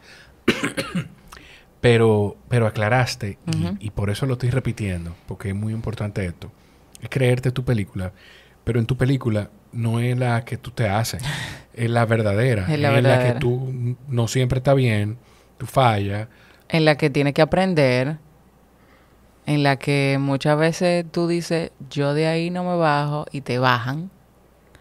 Eh, y, y eso es lo peor, pero es lo mejor. Cuando yo le digo a Dios, ay, yo necesito tener más paciencia, yo ya no le pido así. No, no, no. Porque me lo pone todo claro. todo para que la pierdas rápido. Em, y me he dado cuenta, y eso no quiere decir que yo me vea como la mejor persona del mundo y todo lo contrario, pero yo trato de juzgar muy poco, muy poco, porque em, yo no sé lo que está pasando en la cabeza de esa otra persona. Una cosa es lo que, lo que yo quiera eh, decir, eh, que- lo que yo digo que no quiero hacer. Pero una cosa no, pero eso no tiene nada que ver con decir yo nunca haría eso. Yo esto y, y me cierro. ¿Por qué? porque eso no es verdad. Nosotros somos capaces de hacer todo lo que nosotros creemos que no somos capaces. Es lo malo. Porque llega algo que te, como que trigger, que, que te detona ese, Sí. esa forma, esa mala forma, o esa buena forma, pero lo que pasa es que lo que detona usualmente no es bueno. Claro. Entonces, en e- eh, desde, desde muy, muy chiquita, porque perdí una amiguita eh, jugando, literal, fue un disparate, fue, fue jugando, que su papá Ah, le dio una pela. Su papá le dio una pela porque yo le dije lo que estaba haciendo. Ay, Dios mío, qué susto. Que yo pensé que íbamos a recorrer por un camino oscuro. No, Perdí una oscurísimo. amiguita. La No, secuestraron o se no. murió. Ay, Dios mío. Pero sí, sí, bueno, perdí una sí, pero bueno. Eh, la realidad es que eso me enseñó chiquita a cuándo hablar y cuándo no hablar. Y qué hablar. Y, y cómo no juzgar una cosa. Entonces, em, yo, yo aprendí eso muy joven, muy, muy temprano. Y yo pretendo dar, hacerle honor a, a esa forma de, de querer saber más de la gente, de querer aprender más de la gente, de saber que yo me falta mucho por aprender, pero yo quiero dejarlo bueno. Eso no quiere decir que yo soy la mejor, mejor persona del mundo, pero yo sí quiero poder dejar buenas huellas, porque mala hay mucha. Claro. Noticias malas todos los días. Personas negativas, muchas más. Yo no quiero dejar eso. Yo quiero que lo poco que pueda encontrar algo en mí, una persona, que sea algo que se pueda llevar, que lo haga sentirse aliviado o aprender, pero no, no desde mi perfección, sino desde mis errores. Hay algo que no quiero que se me quede, que lo anoté, porque en ese pequeño momento de, de- del, del que yo pude participar, me di cuenta que de algo con, con Alessandro. Y yo creo que lo que pasó con él en tu concierto Ah, sí, habla sí. mucho de ti y habla mucho de él. Y habla mucho de ti, de lo mucho que tú te puedes dar a querer. Y habla mucho de él, de lo desprendido que puede ser. Sí. Porque creo, creo que una de, la- de las muestras de amor más grandes que él le puede dar a una amiga, a un amigo, la hizo contigo. Porque Alessandro tiene mucho tiempo que no se subía a un escenario. Y sin interés de hacerlo tampoco. Sí, ciertamente. No sé por qué. Yo necesito entenderlo. Yo lo tengo que llamar porque quiero, quiero traerlo también al No podcast. sé, un tipo tan talentoso, tan grandioso, tan maravilloso y, y con todo el talento del mundo, pero él ha decidido hacer con su talento otras cosas, componer, Claro. producir, que está muy bien. Lo que pasa es que yo digo que tú el, el escenario te necesita. Em, y, y Alexandro eh, fue un momento muy bonito y, y- y muy genuino cuando él lloró, pero nosotros somos dos llorones.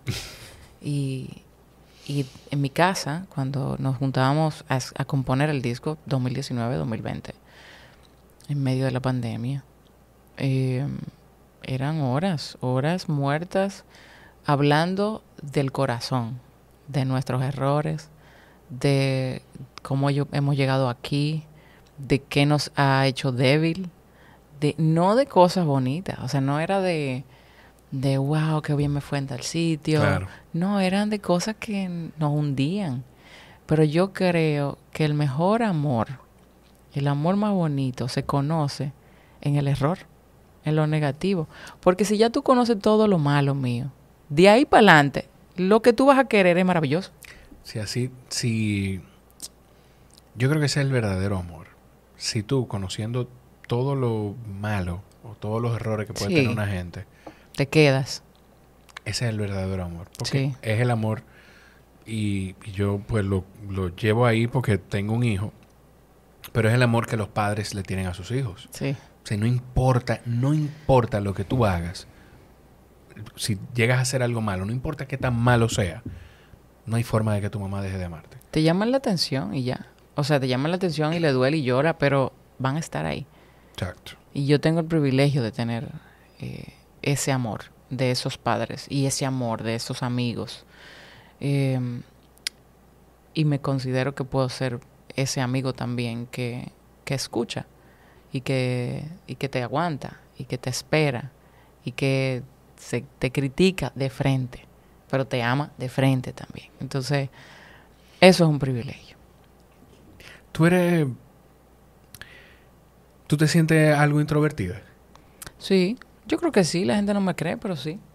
Te lo, te- lo que pasa es que es, es una constante que yo percibo en mucha gente que se tiene que parar frente a un micrófono porque lo disfruta, porque disfruta hacerlo, pero no necesariamente disfruta que mucha gente lo mire o ser el centro de atención. No, o sea, no me gusta. Si, si estamos en una actividad familiar o de amigos, en un restaurante, no sé qué. Llegó Natalie. Llegó Natalie, un aplauso, que así como que no, ¿por qué? Soy otra gente. Eh, tampoco me gusta que oigan mis canciones cuando yo estoy ahí, como que, como que la pongan por, porque Natalie está aquí, déjame oír la canción. Sí. No quiero, no. Eh, me, me, me causa mucho, no sé, me, me, me disloca un poco. Sí, sí, te lo, te- hubo algo que te escuché decir antes que me, que me hizo pensar, pensar en eso.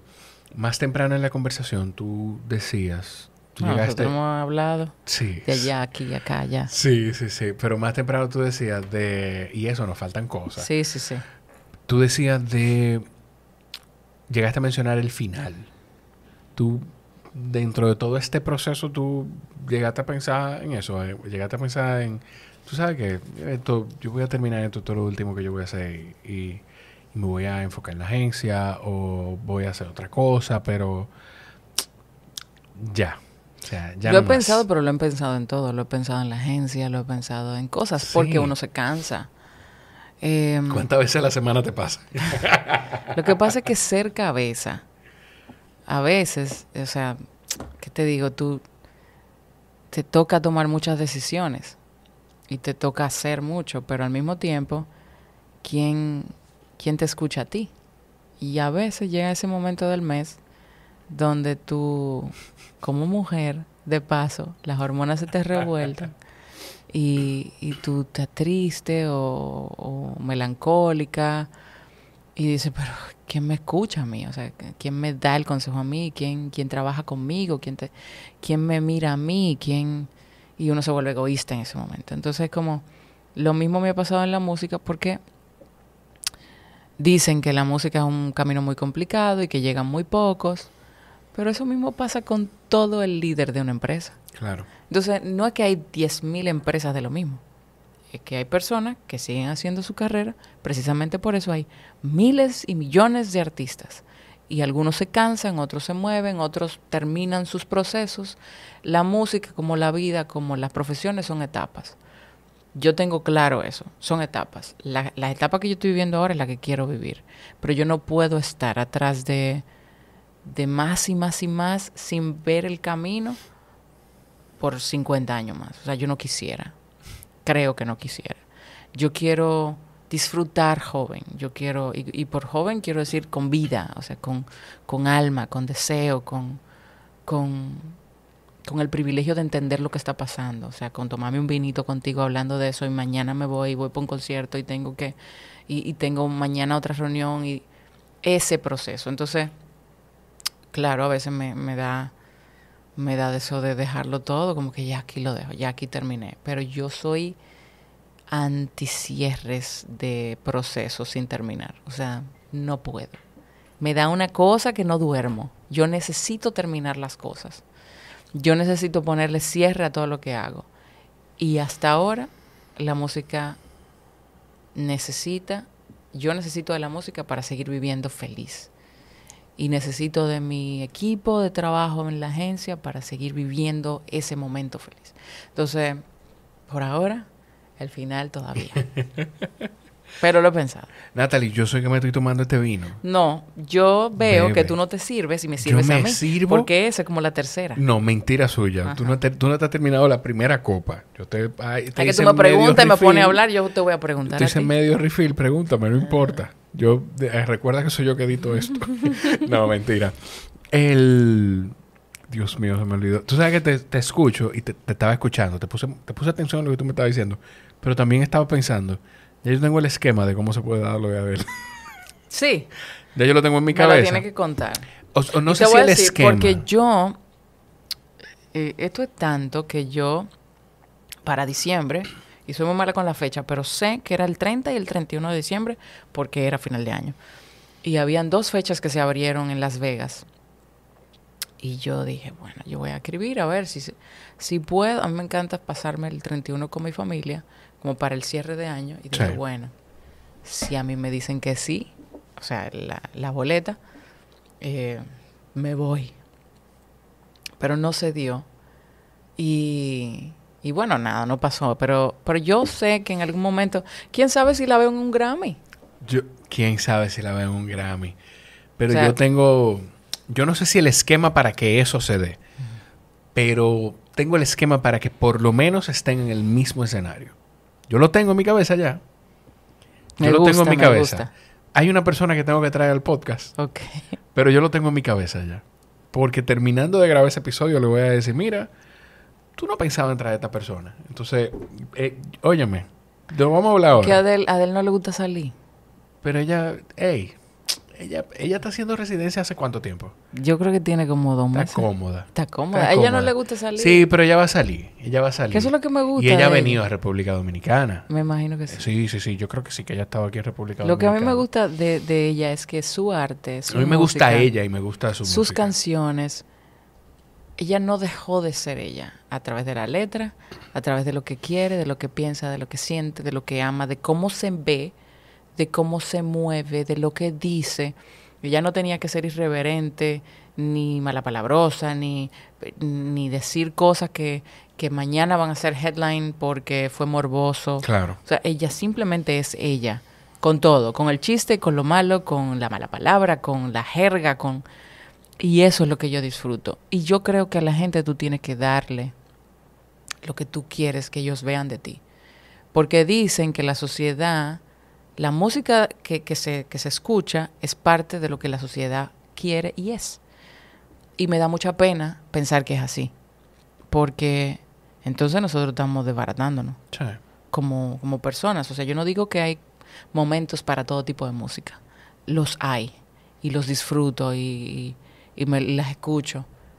Pero no puede ser que todo sea banal. Y no puede ser que todo es todo y nada es nada. Porque eso no es así. Porque a la hora de tú sentarte a pensar, tú no vas a pensar con una canción que, que te esté diciendo, Sí. Eh, bueno. Eso. Lo que sea. Pero sí, no puede, no puede ser que todo sea vacío. Y No. yo soy uno que he dicho, yo hay un día que yo me pongo, yo, yo le tuve que explicar un día a mi esposa porque había un contenido en televisión que en, en YouTube que yo buscaba de un programa de televisión local. Yo le decía, lo que pasa es que hay hay un día que yo no quiero pensar. claro. Y esto, y, y esto no lo digo de manera despectiva y evitando que se malinterprete, por eso no digo de qué estoy hablando, pero no lo digo de manera despectiva, porque, o sea, eso no está mal, es, es entretenimiento. es. Pero hay un día que yo no quiero mirar un contenido para el que, para el que tengo Para que pensar analizar, y procesar sí, y sí. analizar y interiorizar. O sea, no, hay un día que yo quiero simplemente mirar y reírme de cualquier cosa. Sí. Eh, tengo, yo tengo mi esquema. Tiene que Yo- servirte. Qué barbaridad. Ajá. Yo tengo, yo tengo mi esquema. Yo tengo mi esquema. Yo no tengo nada en el estómago, Natalie. Bueno. Después vamos a pedir cena. No sé si quiere, estás invitada a lo que sea que vayamos a pedir. Eh, mira, para que no diga. Ok. Ahí me serví un poquito y te serví un poquito. Un pocote, pero Ay, bueno. ay. Eh, no, y hay otra botella ahí, cualquier Pero cosa. espérate, Compré dos oh. de estas, o sea que no te preocupes. Eh, ya hasta se me olvidó. Ah, ah, mira, aquí ha venido, a este país ha venido a cantar Frank Sinatra, Sí. Carlos Santana, Ricky Martin. eh, cualquier Sí, artista, el que tú te imagines, ha venido aquí. Coldplay dio un conciertazo el año pasado. No lo pude ver. Yo no sé si Drake ha venido aquí, yo creo que no. No sé. Pero, hay Pero han alguien venido como, muchos. Hay alguien como de esa... Bruno Mars. Como de- eh, Bruno Mars. Yo no sé por qué yo pensé, dije Drake pensando en Me Bruno imaginé Mars. que era él, sí. Exacto. o sea, aquí ha venido todo el que tú te puedes imaginar. ¿Por qué Adele no va a venir a cantar aquí? No, es cierto. También yo puedo ir donde ella quiera. Sí, también. Tú ves, iba a hacer un comentario de eso que hacemos la gente que estamos cerca que, que no aporta nada. Pues yo te iba a decir, sí, pero es más fácil que ella... Pero no, o sea, puede ser que tú vayas. Bueno, te voy a decir algo. Yo conocí a Kiko Ahí Eh, vamos, vamos para allá. Yo conocí a Kiko, que fue el productor, para que la gente sepa, de mi disco Te Cuento 2017 y de este disco Desde Cero. Eh, pero Kiko yo lo conocí y yo viajé y te cuento, o sea, yo después del espejo de tus ojos, que fue en el 2013, yo decía, ok, ¿ahora qué yo voy a hacer? Porque yo lancé ese disco sin, sin conocimiento. Yo no sabía mucho de cómo se debería de hacer ese proceso. Después que tú lanzas un disco, me di, me di cuenta después. Perdóname. Pizza quiere. No, no, puedo. Pizza no. Sushi. No, no, no. Es que, no, Si tiene compromiso después. no, que no puedo. Tengo una cena específica. Ah, no, pues ya, pues sí. ya, pues ya. Ok, ok, ok. No dije Eh, pero después que conocí a... A Kiko. No, yo Oh, estaba... perdón, yo estaba este- del, de- del espejo de tus ojos. Correcto. Yo decía, ok, ¿qué, ¿qué voy a hacer? ¿A dónde voy a ir? ¿Con quién voy a hablar? Yo no conozco muchos productores dominicanos. Bueno, no conozco ningún tipo de productor en ese momento. Pero decía dominicano porque estaba aquí. Eh, no sé qué más puedo hacer. Resulta que yo le escribí a Kiko porque yo estaba a las 2 de la mañana en mi habitación oyendo música y diciendo, ¿qué yo voy a hacer? ¿A quién le voy a escribir? ¿Con quién hablo? Porque no conozco a gente de la industria. Y resulta que me pongo a escuchar a Luis Miguel y yo digo, ay, déjame ver quién produce a Luis Miguel. Me- después veo... Así casual. Y ya, Casual. literal, literal. Y yo, dentro de mi playlist está todo el tiempo Rake y Jesse Joy y Carlos Rivera y Jesús Adrián Romero y Marcela Gándara. Y tú dices, todo de Cristian Castro y toda esa gente, el común denominador era Kiko Cibrián. Y yo dije, bueno, déjame ver a quién, cómo le, cómo le escribo.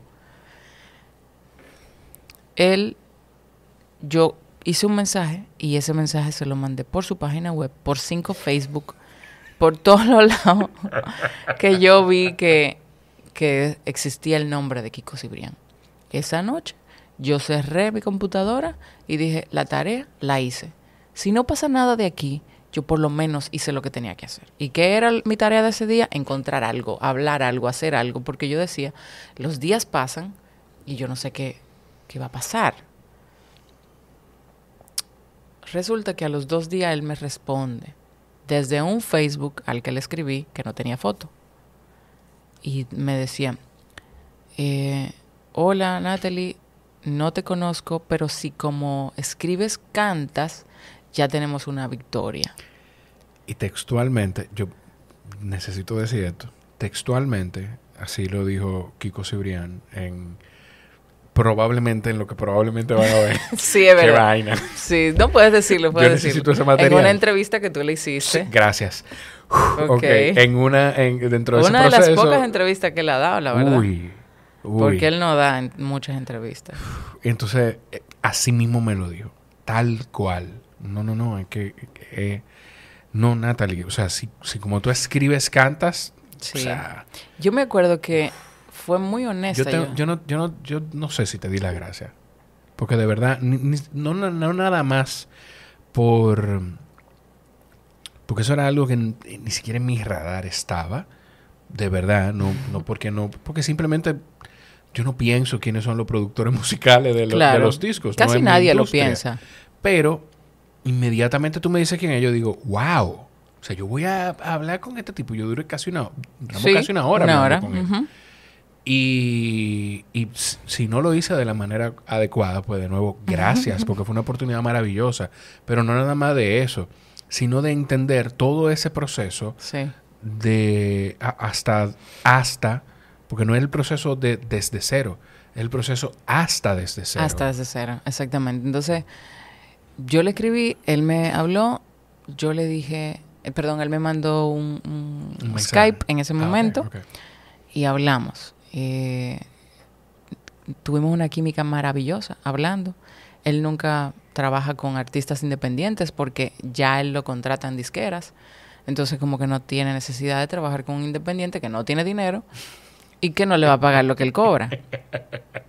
es la realidad. Eh, y nos caímos también y él me dijo, esa canción me fascina. En ese momento era Inmigrante, que, que, que es parte del disco Te Cuento. Y, Que en el concierto y te di, sí, sí, Wow. bellísima. Y te di. Y él me dijo, ven a San Diego. Como que estaba hablando, ven a La Romana, ven a San. Francisco, a San Pedro. Exacto. Pero él me dijo, Arranca ven a San Diego. California. Y yo, claro que sí. Yo no sabía que era tan caro llegar a Cali- San Diego, California, pero bueno. Yo, wow, Dios mío. Ok, saqué mis ahorros, pregunto cuánto me va a cobrar por la canción. Un dinero que yo en mi vida, te lo juro, hubiese pensado que costaba. Y él me estaba haciendo un descuento.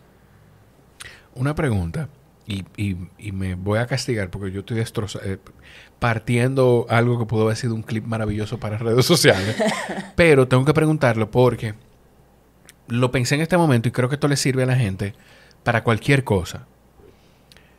Tú dijiste, ven a San Diego. Tú- Él y dije, exacto, él te dijo, ven a San Diego y tú dijiste, bueno, saqué de mis ahorros. Sí. Tú no, tú no... Eso es un proceso, tomar la decisión de decir, yo no voy a tocar este dinero que es de mi agencia, yo voy a, tom- a tomar este Yo dinero. nunca en mi vida he tomado un peso de la agencia. De Ya, nada. Ya, Nunca. ya. Ya, o sea, te lo digo porque de- así como tú estás con la música y con la agencia, así hay emprendedores que tienen distintos Yo soy negocios una empleada. y no puede ser Yo una soy cosa una empleada otra. en mi agencia. Gano bonificaciones y dinero por comisiones y asesorías y clientes que llevo. Pero yo soy una empleada en mi oficina. Ya. Y Ya. lo único que tengo un trabajo peor que es el de administrarla. Pero es. Pero, sí. tú, pero tú me entiendes el valor de eso, de Sí, aclarar eso. claro. Y de- y de- porque de verdad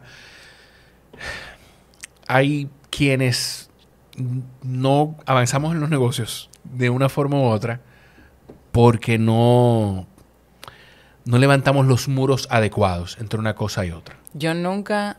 Yo siempre he tenido muy claro que para tú crecer un negocio tú no puedes drenarlo. Ya. Entonces, lo que tienes que hacer es un orden.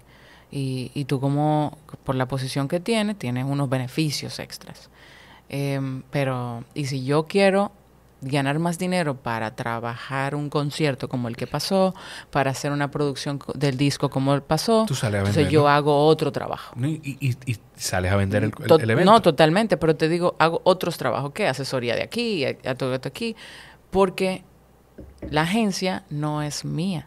La agencia es de un grupo de personas que trabajan en la agencia y que me confiaron que yo administre esa compañía y que ellos me dan su talento para que todos los meses yo le pueda hacer un pago mensual de una nómina y que no le diga, ups, no hay dinero. Claro. Porque mi trabajo es administrarlo bien. Entonces, tengo que separarlo. Entonces, en ese proceso, desde muy chiquita, yo vengo a ahorrar. Yo ahorro desde chiquita. Y te cuento mis múltiples negocios, desde vender sándwich, eh, hacer pucas, Sí. vender maquillaje, me acuerdo, en el colegio. Eh, pero bueno, cuando yo conocí a Kiko, él me dijo esto de este dinero, de lo que cuesta. Y yo decía, Dios mío, bueno, nada. Si no me va bien, por lo menos me di la experiencia. Yo lo vi como que fue un viaje de experiencia. Resulta que en el avión, yo ahí me entró un poco de ese de raciocinio y dije, ay Dios mío, ¿qué yo hago aquí? ¿Qué yo estoy haciendo? Yo no conozco a este hombre y si este hombre me, me- me quiere hacer cosas, me, quiere dañar físicamente. Y si es un tigre y Y si... ya tú, habías, ya tú habías tenido el Skype, o sea, ya tú sabías que era él. Yo- sí, yo tuve el Skype. Ah. Sabía que era él, pero Tú no sabes. yo no es. sé quién es él en verdad, porque tú te puedes pintar como una santa paloma. Claro. Y cuando me tiene aquí es otra cosa. Bueno, por gracias a Dios, cuando yo llegué todo perfecto, él me trató dignamente. Y cuando yo te digo dignamente, eso me hace todavía querer tratar a la gente mucho mejor. Claro. Yo no era, no es que lo soy más ahora, pero en ese momento no tenía el reconocimiento que quizás puedo haber ganado ahora, después de varios años. Y él mucho menos me conocía. Y él me trató como otro artista grande más. Me dijo, aquí grabó Luis Miguel y aquí grabó esto. Mira, y utilizamos estos micrófonos, y hicimos esto aquí. Y mira esta foto aquí. Y tenía un ingeniero de sonido y me traía el té y me decía, no te puedes comer esto, tienes que hacer. Y yo decía, wow, qué bien se siente que te traten bien. Por eso yo digo, a todo el mundo tú debes tratarlo bien, a todo el mundo. A todo el mundo, no importa cuál es su condición Claro. socioeconómica. Y bueno, grabamos, yo fue una era una semana Se supone que en una semana íbamos a grabar dos canciones. En dos días grabamos dos canciones. Los otros días fue como, bueno, ¿y qué vamos a hacer? Vamos a seguir hablando, cantando, no sé qué. Que fue un, privilegio para mí hacer esas dos canciones con él al principio. Porque mm, el tipo es un maestro y te enseña técnica, te enseña el porqué, el, el privilegio de la voz, por qué no importa si tú tienes guitarra, violines, eh, piano, no sé. Eso es un adorno, pero si tú quitas todo eso, la voz tiene que prevalecer y te tiene que mostrar ese, ese mensaje que tú quieres eh, cantar y contar cantando. Entonces, Pero ent- de, de alguna forma, Natalie, perdóname que te interrumpa, estaba conectado también con esa forma con la que tú empezaste a cantar con Easy Melody. Easy listening. Easy Listening. Sí. Estaba conectado de alguna Sí, forma, estaba donde la voz es el instrumento. pero es como cuando tú vas al gimnasio, si tú no tienes un instructor, Exacto. eh, tú no sabes si lo estás haciendo bien. Exacto. Y tú crees que está en el pitch perfecto, o sea, en el tono perfecto. Y él dice, sí, tú estás en el tono perfecto, pero no me sabe a nada. que a veces el instructor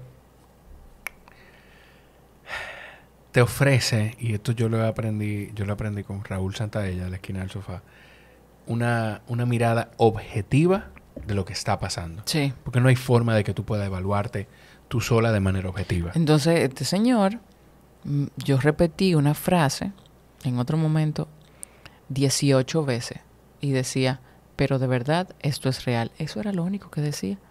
Pero de verdad esto es real. Es una canción dentro del disco Te Cuento eh, que se llama Difícil no fallar.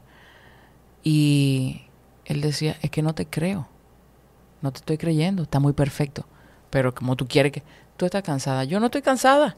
Y él me enseñaba en la computadora, mira cómo sube el tono, mira cómo pasa esto, tú estás cansada. Tienes que beber agua y té, agua y té. Ok.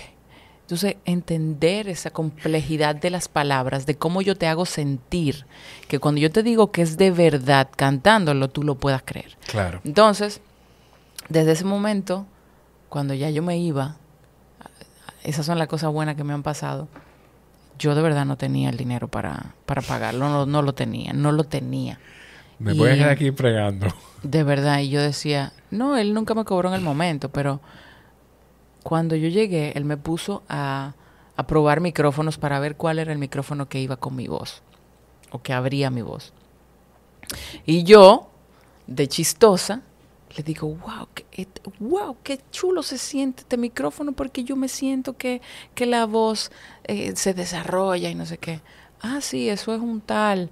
Y, y es un vintage que no ya no aparece, pero lo están vendiendo como coleccionables y tienen los cambios y los repuestos. Ah, qué bien. ¿Y, y como cuánto cuesta? No, bueno, eso cuesta como 8, 800. Y abrí los ojos, no, 8 mil dólares. Y yo dije, ah, ok, ok. ¿Quieres que te averigüe? No, no, no hay problema, no, solamente sabiendo. Y este, ah, no, bueno, ese todavía es un poquito quizás más exclusivo, pero pasa, perdón, eh, eh, es más simple, pero cuesta un poquito más, cuesta 14. Y yo no, pero déjame no preguntar más. Exacto. El punto es que cuando yo me iba, él me dijo, ¿dónde tú estás? No, ya me voy para el aeropuerto. Y me dijo, espérame ahí. Él llega y me entrega un maletín con el micrófono que a mí me gustaba. ¿Qué? Y me dijo, toma, que ese micrófono tú lo vas a usar más que yo y nosotros vamos a seguir trabajando. Eh, hoy en día, los demos del 2020 de las canciones de Desde Cero, yo lo mandé con esas canciones, con ese micrófono. Pero ese, ese micrófono costaba lo que me estaban contando las canciones. O sea, que él me lo regaló, las canciones. Em, y después de ahí, bueno, obviamente grabamos el disco completo. Te cuento, fue y es y sigue siendo un himno para la gente. Eh, pero así de cosas fortuitas me pasan. Yo siempre he dicho que en la vida tú tienes que arriesgarte y hay dos cosas. La única dos respuestas que tú puedes tener es un sí y un no. Entonces, Claro. ¿por qué no hacerlo? Yo siempre he tenido eso como un- un- una bandera de mi vida. Y, y me arriesgo mucho o no, solamente con esas dos cosas, siempre. En el momento que yo. En el ratico que yo pude. El ratico, una hora. en el tiempo que yo pude eh, hablar con Kiko. Lo percibí como un gran ser humano. Y yo creo que aquí es Sí, lo es. evidente. O sea. Pero. ¿qué, ¿Qué tú aprendiste de él como persona? Como ser humano? ¿Qué tú aprendiste de él? Fuera de la música. Sí. ¿Qué, qué tú sientes que, que, que te deja, que te, que te va a dejar él en, en Natalie, la persona o la empresaria o la artista, como ser humano? Que Mira, tú puedas Yo replicar. te puedo decir muchas cosas. Entre ellas está que los grandes, todas las personas que son grandes y que tienen mucho que dar, los sabios, usualmente tienen una nobleza en su corazón y en su forma de tratar al otro que los hace ver simples, que los hace ver accesibles, que los hace ver que como que saben menos y es todo lo contrario. El que él me haya tratado con tanta deferencia, siendo yo una muchacha común, sin disquera, sin ningún tipo de, no sé, de privilegios económicos que él pueda decir, ni familiaridad con ningún otro artista. Claro. Que él me haya tratado con esa buena forma, la verdad me hace entender que yo debo de seguir ese mismo camino. Y si me pongo a pensar en la parte profesional de quién es él, un tipo brillante, un maestro, un profesor, un que no se la cree, pero sabe lo que tiene, que son dos cosas muy diferentes. Eh, él sabe claro. quién es él, pero no se la cree. Coño, Natalie, qué cosa tan ápera tú acabas de decir. O sea, son diferencias abismales. Claro. No creértela, pero tú- estar consciente de lo que tú das. Totalmente, o sea, es tú le preguntas a cualquier persona y dices un maestro. Tú le preguntas a un guitarrista y dice el maestro guitarrista Kiko Cibrián. Pero le preguntas a un productor y piensan lo mismo. Entonces, a cada quien tú tú entiendes que tú estás tratando, tra- estás tratando con un gran hombre, con un gran profesional, pero también un gran hombre, porque el tipo eh, trata de tener su espacio para su familia, para su esposa, para, para compartir, para tener un- una hora de trabajo. Eh, pero eso él lo aprendió con muchos tropezones. Porque él me decía, cuando yo era jovencito, así como lo pueden ver en, el, en la serie de Luis Miguel, él se quería llevar el mundo por delante. Y, probablemente también el ego jugó, le jugó en contra. Y lo entiendo. Pero pudo cambiarlo. O sea, pudo hacer un switch de eso y sacar lo mejor de sí para la gente. Puedo enderezar el camino. Exactamente. Y lo mismo pasa con don Gilberto Santa Rosa, que me tocó conocerlo y, y, y tengo una canción con él porque me invitó a cantar con él como telonera. Y yo digo lo mismo. Don Gilberto Santa Rosa, dicen que él es el caballero de la salsa, pero ese tipo es una dama de hombre. O sea, eh, casi siempre cuando ponen a un artista local a abrir conciertos, no lo tratan como deberían. No deberían aquí, porque en otros países, la verdad, he visto que a los teloneros los unen al, al, al proceso y, y embellecen todo el concierto. Pero aquí te ponen detrás de una tela negra, no te prenden un, un bombillo. Ay, Eh, en su mayoría ya no tanto, ya Claro. no lo hacen tanto, pero lo hacen. Y don Hay Gilberto, productores y hay hay productores, productores. hay productores, Claro. es verdad, es cierto. El que va a traer a Adel, yo le voy. Dígale que, por favor. Eh, y la verdad es que el Señor me dijo, lo que tú necesites, pídeselo a ellos. Mis ingenieros de sonido y todo mi staff está a tu disposición. wow. Y efectivamente así fue. Y él no me conocía y, y no tenía ese ego de que, ah, no, que, que seguro si, si hay una persona adelante que canta muy bien, eh, no me van a querer a mí. Tú de verdad crees eso. La realidad es que cuando tú tienes un proceso bello, tú dices, wow, aquí está todo armonioso. Exacto. Esa es la diferencia y eso es lo que él piensa. Y aparte de todo, cada vez que puede me manda un, un mensaje. ¿Qué? Él viene mucho a República Dominicana Ay, no me y, no cuando y cuando estoy en un programa de televisión y da la casualidad que él me está viendo, me manda una foto Wow. y me dice, "Te estoy viendo, como te dije, en algún momento yo te voy a ver en el escenario a ti." En unas premiaciones que, que hablamos mucho de eso. Y, y él no tiene que tomarse ese tiempo. Y lo hace. Claro. Eso es de grande. Que no, es, que no es un tema de voy a hacer esto para ganarme. O sea, ya. no tiene que ganarse nada, y mucho menos de mí. Por favor. Entonces, cuando tú ves ese tipo de actitud de grandeza, Sí. pero de humildad, te, te endiosa más la persona. Yo puedo. Yo siempre he dicho que yo no soy de, de seguir artistas, sino que si hay una canción que me gusta, yo la busco, la meto en un playlist y me la escucho.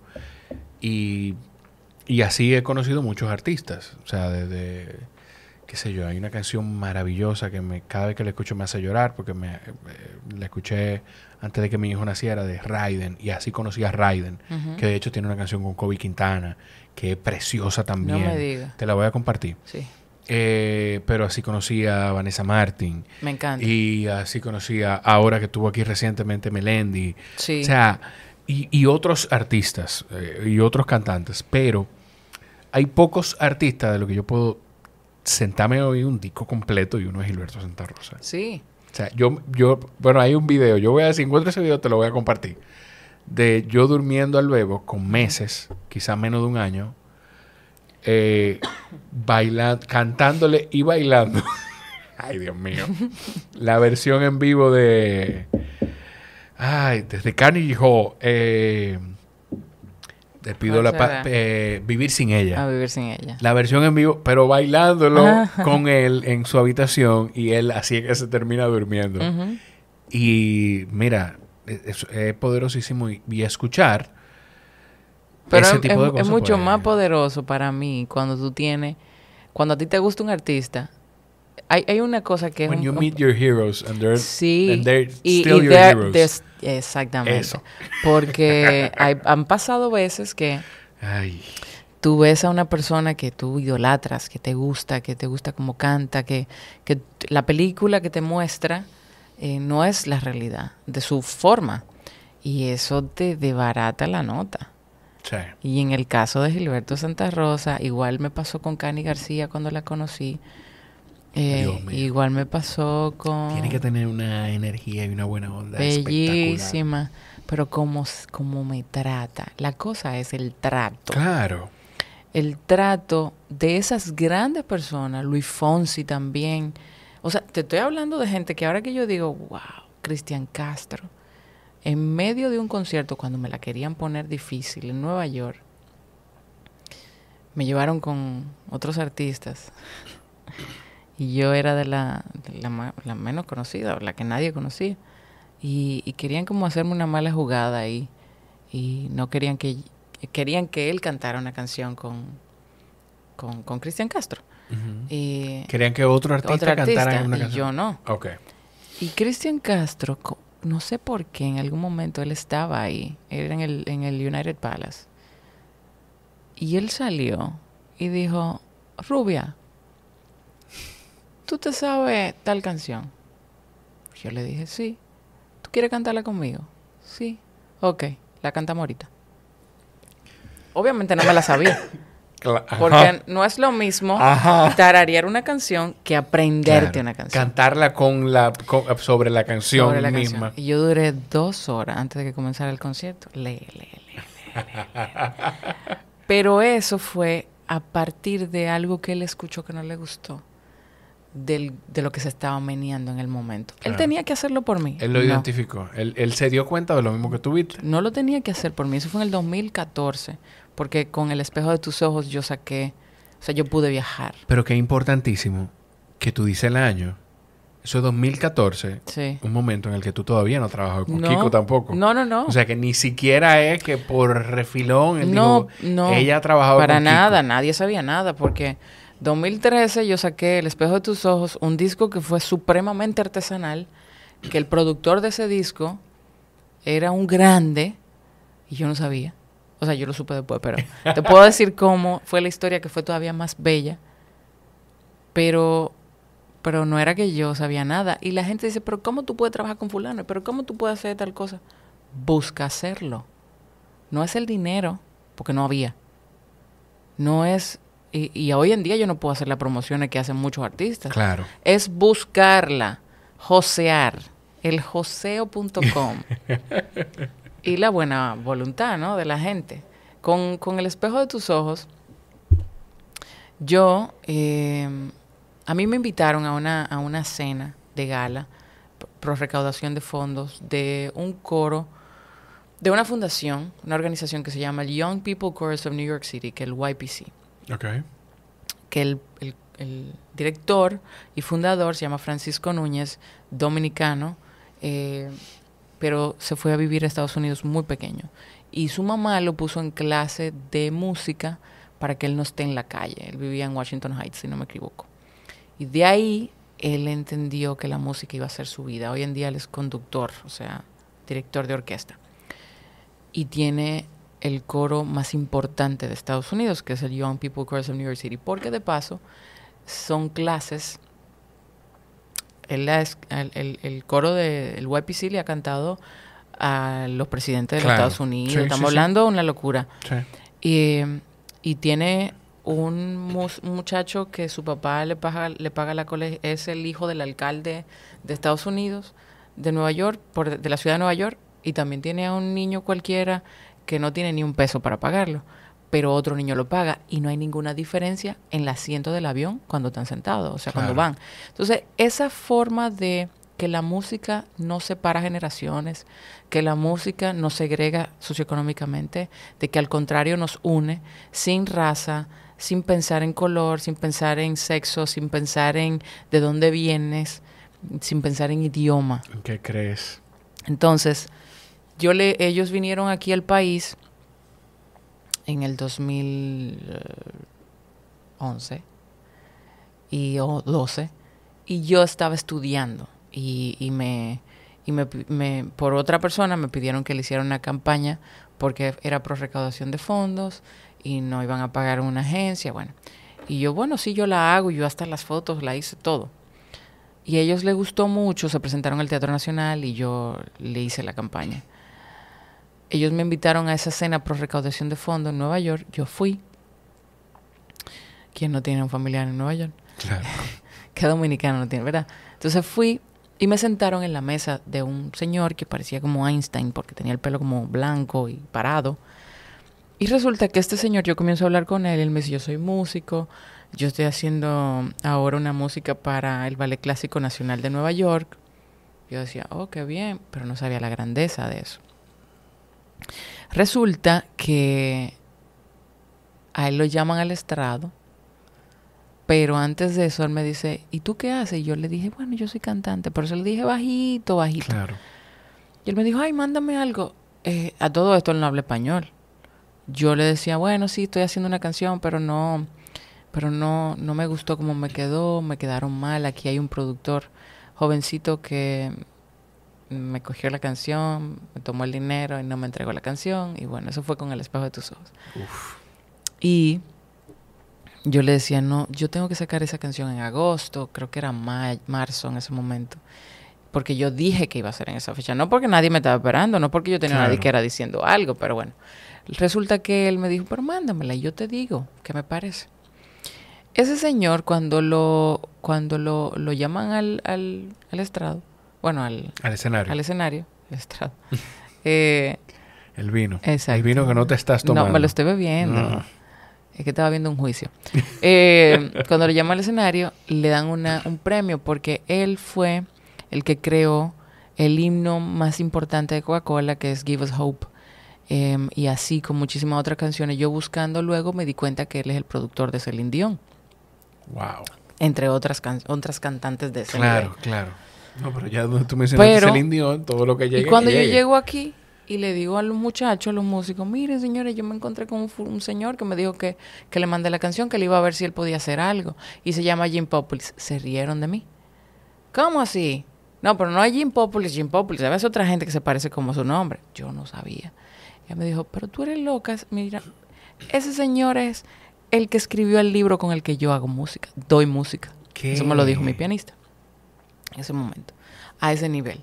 Resulta que él me dice, Natalie, te voy a mandar eh, la canción, la escuché, me pareció un- una melodía maravillosa, no sé lo que estás diciendo, y pude llorar. ¿Qué? o sea, y era con el espejo de tus ojos, la maqueta. Pero necesito 20 días porque voy a estar en África. Y yo dije, ah, este hombre me está diciendo que no. Pero no me lo quiso decir bonito. Claro. En 20 días me mandó la canción. Cuando yo la escuché, yo dije, esto es lo que yo quiero. ¿Qué va a pasar? Eh, ¿Cuánto tú me cobras? Y él me dijo, 11 mil dólares en el 2012. Porque que tú, yo, yo estoy hablando con tu tulpene, que yo no tengo ese dinero, pero... Pero... Y él me pero, dijo, se- pero, pero, pero, esos son los números de ellos. Pero olvídate del, del dinero. Es. Hay decenas, cientos de personas probablemente que tienen el dinero y no tienen la oportunidad de estar frente a esa persona. No, totalmente, pero Ya. yo no tenía, yo tuve la oportunidad y no el dinero. Sí, pero, pero, pero ¿qué, qué, val- qué tiene más valor? no, no, la oportunidad, totalmente. Ya. Y él me dijo, tú me preguntaste el monto. Pues yo tosí. Yo le dije, pero yo no tengo, ni quitando todos los ceros y dejando el uno, no lo tengo. Y él, y él me dijo, pero tú me preguntaste, yo no te estoy diciendo que te voy a cobrar eso. Es más, yo voy a hacer tu disco. Punto. ¿Qué? Yo lo único que pagué fueron como, no sé, 600 dólares de la masterización, una cosa así. Que era para pagarle a alguien para pagarle a alguien. Entonces, resulta que él me, me dice, Natalie, mira, tú sabes, oye esto, ¿tú sabes quién es Adele? Yo, ¿cómo? te lo juro, Eso va a pasar, Natalie. Yo estoy ahí ya. te lo juro. Eso ¿tú sabes quién es. Adele? Claro que sé quién es Adele. Ah, es que yo tengo que ir a Santo Domingo o a República Dominicana. Voy a estar en casa de campo porque hay una canción de una fundación de Mark Anthony que va a hacer algo con Adele y yo la estoy produciendo. Yo, wow. En ese momento yo no, yo no tenía carro, yo no entendía si yo podía viajar allá. Yo no sé, o sea, yo en otra cosa. Y resulta que él me dice, mira, como yo voy a estar allá, tú no tienes ni siquiera que pagarme hotel ni nada de eso, porque ya lo están haciendo estas personas. Claro. Tú lo único que tienes que hacer es búscame un estudio, un ingeniero de sonido, un ingeniero de no sé quién, un ingeniero de aquí, un... Y yo, mira, yo miré para abajo y dije, mira, Jim, yo te voy a... Yo te voy a enseñar dónde yo estoy. Cuando él viene a Santo Domingo, yo estaba nerviosa porque yo decía, este hombre va a salir corriendo. Porque mi disco, El espejo de tus ojos, yo lo grabé en la casa de un muchacho que no era ingeniero, hoy en día sí ingeniero de sonido, pero que como era aficionado de eso, lo estaba haciendo con nosotros, se llama Gabriel. Sí. En su casa, en un baño estaba la batería, en el piano, el piano estaba en la sala, eh, la guitarra estaba conectada, así, en la casa. Pero los, los sonidos no se cruzaran. Y cuando él llegó y vio esto, él dijo, wow, qué maravilla. Exacto. ¿Qué es esto? ¿Cuánto talento? Que no sé qué. Y él estaba feliz. Esa es la cabeza de lo grande. Y ¿no? cuando terminamos todo, que él dice, "Uh, tengo las fotos, me acuerdo, tengo esa foto ahí que te la voy a pasar. Cuando terminamos, él me dice, vamos a cenar. Y yo abrí los ojos y dije, wow, este hombre seguro hay que llevarlo a comer a sitio caro, yo no tengo dinero, eso es lo que yo pensaba. Y él, me de- y él dijo, pero no me lleven a ningún sitio Louis Vuitton. Literal. y yo, bueno, le, dijo, le digo a Macá, que es mi bajita, Macá, dime tú, Otro personaje. otro personaje, dime tú, desde ese momento está Macá conmigo. Sí. ¿De- ¿Dónde podemos ir? Él dije, "Ah, vamos a un sitio de cerveza que hay, creo que en el malecón, eh, de cervezas alemanas y salchicha y no sé qué. Mm, Alemania Gourmet. Algo así. claro, yo sé dónde. En el cacique, claro Ajá. que sí. Claro Entonces, que sí. ¡Wow! cuando nosotros llegamos ahí, este hombre Este es- feliz. Ay, Dios mío. feliz.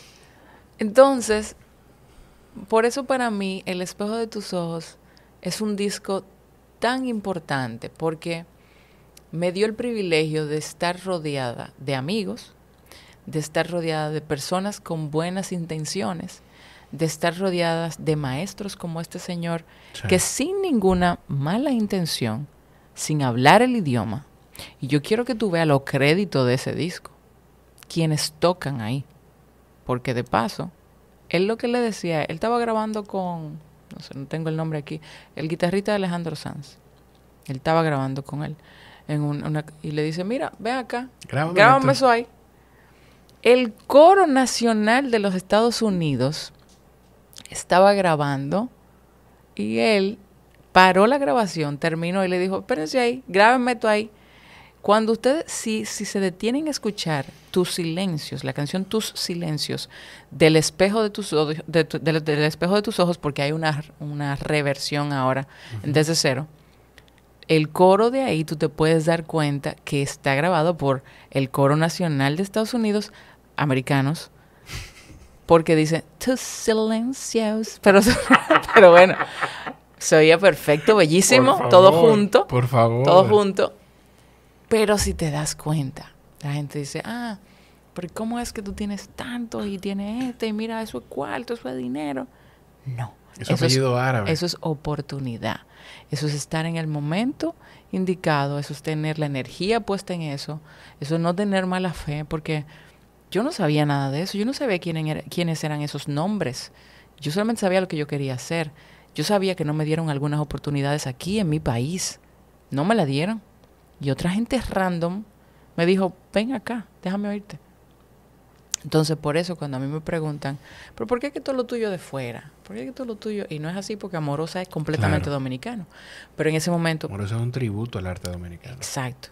Bueno, yo, yo voy donde me dan oportunidad. Y toda esa gente que no me conocía, me quiso dar una oportunidad. Entonces, por eso yo creo en las oportunidades y en, en pasar ese deseo de dar oportunidades a otras personas. Y por eso es que yo creo en dar oportunidades. Y en el, y el, y en el proceso, obviamente, tengo estas historias que, que le dan vida a mi vida. Ay, Natalie. Mira, si yo digo cualquier otra cosa, ahí yo daño eso que te acaba de decir. Se quedaron muchas cosas por hablar contigo, pero tienes otro compromiso. Pero nosotros tenemos dos horas hablando. Tenemos dos horas, pero se quedaron más cosas. No hablamos de amorosa. Se quedó mucho. Hablamos muy poco del concierto no hablamos de tu rol. Yo tenía aquí anotado incluso, no hablamos de tu rol de trabajar con marcas personales, de figuras políticas, de instituciones, marcas privadas. Sí. O sea, y me encanta porque me confirma que tú definitivamente eres una invitada que va a ser recurrente en mi podcast. Pero tenemos que hablar de temas porque cuando hablamos de muchas cosas no, no terminamos. Lo que tú quieras, de lo que tú quieras hablar, tú me puedes decir también un día, conchale Jorge, sentémonos a hablar de tal cosa. Tú y yo podemos fundir, pausa un término de, de, la época. Tú y yo podemos fundir hablando de esto. Me gustaría fundir hablando de la energía cuántica. Me interesa. En verdad. me interesa entender un poquito más porque escuchándote de ti. Porque estoy entendiendo. No, y decir todas esas. Desde hace un tiempo, yo voy entendiendo más el tema de. Yo voy entendiendo más que nosotros conectamos con la gente también a través de energía. Sí. Y, y me interesa el tema por eso. Y estoy convencido de que, de que podemos fundir hablando de eso. Pero que cuando tú estás hablando ahora, yo decía, Dios mío, quien no crea en las energías y en, cómo tú puedes atraer cosas, no nada más simplemente con decir que quiero que lleguen, quiero que Tienes que trabajarlo. Tienes que trabajarlo. Tienes que estar preparado, tienes que estar listo para aprovechar esas oportunidades Cuando que se lleguen, claro, claro. Porque a todo esto, desde tú tener las palabras en la cabeza cuando tú estás haciendo un pitch para ganarte una marca, un cliente, a tú tener la tranquilidad antes de empezar un concierto que celebra 10 años de carrera, eso nada más se llega con la preparación. Eso no es, eso no es suerte, eso no es energía, eso no es, eso no es atracción. Eso es el, el repeat, repeat, repeat, repeat. La sabiduría del tiempo. Exacto. Exactamente. eso es. ¿Dónde la gente te puede seguir, Natalie? Ok. Porque siento que vamos a durar otra hora hablando si empezamos. Em, bueno, me pueden seguir. Estoy terminando también porque sé que tienes otro compromiso. Bueno, sí, sí, Tienes otro compromiso. Pero, bueno, le digo a la gente primero que no hablamos de Amorosa. Amorosa es un homenaje al bolero romántico dominicano. Una producción, un disco completo dominicano de compositores dominicanos. Es un oda a los compositores dominicanos. Amorosa es una pieza histórica del arte. Que está hecho a nivel gráfico eh, por, bueno, por mi agencia y por, por el equipo de la agencia, pero, pero con recursos naturales originales de República Dominicana. Es un oda a República Dominicana. y y me interesa que lo escuchen, que lo vean, porque muchas veces, si se salen de que yo soy la que estoy cantando ahí y se ponen a ver em, las biografías de esos compositores dominicanos, de muchas de esas canciones que no sabíamos que eran dominicanas, y comenzamos a ver el tipo de joya dominicana que nosotros tenemos aquí, que no valoramos porque no conocemos. Entonces, cuando tú no conoces tu historia, tú no puedes pelear por tu país y por, tu patria y por las acciones del país. Por, por, eso yo digo, tenemos que conocer el país, tenemos que conocer la historia, tenemos que saber, no quedarnos en el aire de esto es lo que está de moda, esto es lo que funciona, se acabó, porque entonces tú no trabajas por tu patria y por tu país y se van perdiendo precisamente proceso de cultura, porque es como una anticultura. Eh, pero bueno, tenemos ese disco ahí y quisiera que por favor se den el, el gusto de escucharlo. Yo la otra botella de vino que compré con esto voy a tomármela Con- escuchando Claro. Y pueden seguirme en todas las redes sociales como Natalie Jacín. Por favor, sigan a Natalie. Y eh, síganla no nada más en redes sociales, sino también en Spotify y en todas las plataformas de audio. donde Sí, denle follow, que eso ayuda a los artistas. Eso es muy importante porque hace que gente que consume el mismo tipo de música que tú, pues le muestren esos artistas que, que tú sigues. Y para, si disfrutaste esta conversación y llegaste hasta aquí, pues la mejor forma que tú tienes de respaldarme es eh, etiquetando a Natalie cuando compartas el episodio y siguiendo la recomendación de quienes, quienes auspician el espacio y permiten que este espacio crezca. Ya yo no me tengo que parar a resetear la cámara porque Mr. Home es un patrocinador del podcast. yo te- me tenía que parar cada 30 minutos. Eh, sigue hablando, yo te escucho. Entonces se veía un espacio vacío aquí porque yo no machaba. Yo, no, no, no, que yo no voy a crear bobohead. Yo, esto Ay, tenemos que seguir. ay. Y por eso yo estoy como nervioso mirando las cámaras cada momento, porque todavía no me acostumbro. Natalie, una- un, un placer inmenso. De verdad. De verdad. Tú eres un, un Yo, privilegio sé- que yo la no vida sé, me ha permitido. yo no sé qué tanto puedan escuchar este, este capítulo o qué tanto se puedan aburrir. Yo me la disfruté, yo me Yo disfruté también. hablando contigo. Eh, y yo no creo que yo sea una persona para, para que tú aprendas conmigo, sino para que es- hablemos juntos, para que podamos ser mejor cada uno dentro de sus irregularidades y dentro de sus errores. Yo no me creo ejemplo de nadie, pero, pero si de algo puedo estar segura es que me gusta aprender de lo que hago y ojalá que con este episodio puedan saber un poco más de mí. Yo me divertí, supe de ti, aprendí de ti y yo estoy seguro que la gente que está escuchando también está aprendiendo cosas de ti. A ustedes los quiero mucho. Nos escuchamos en la próxima. Bye bye.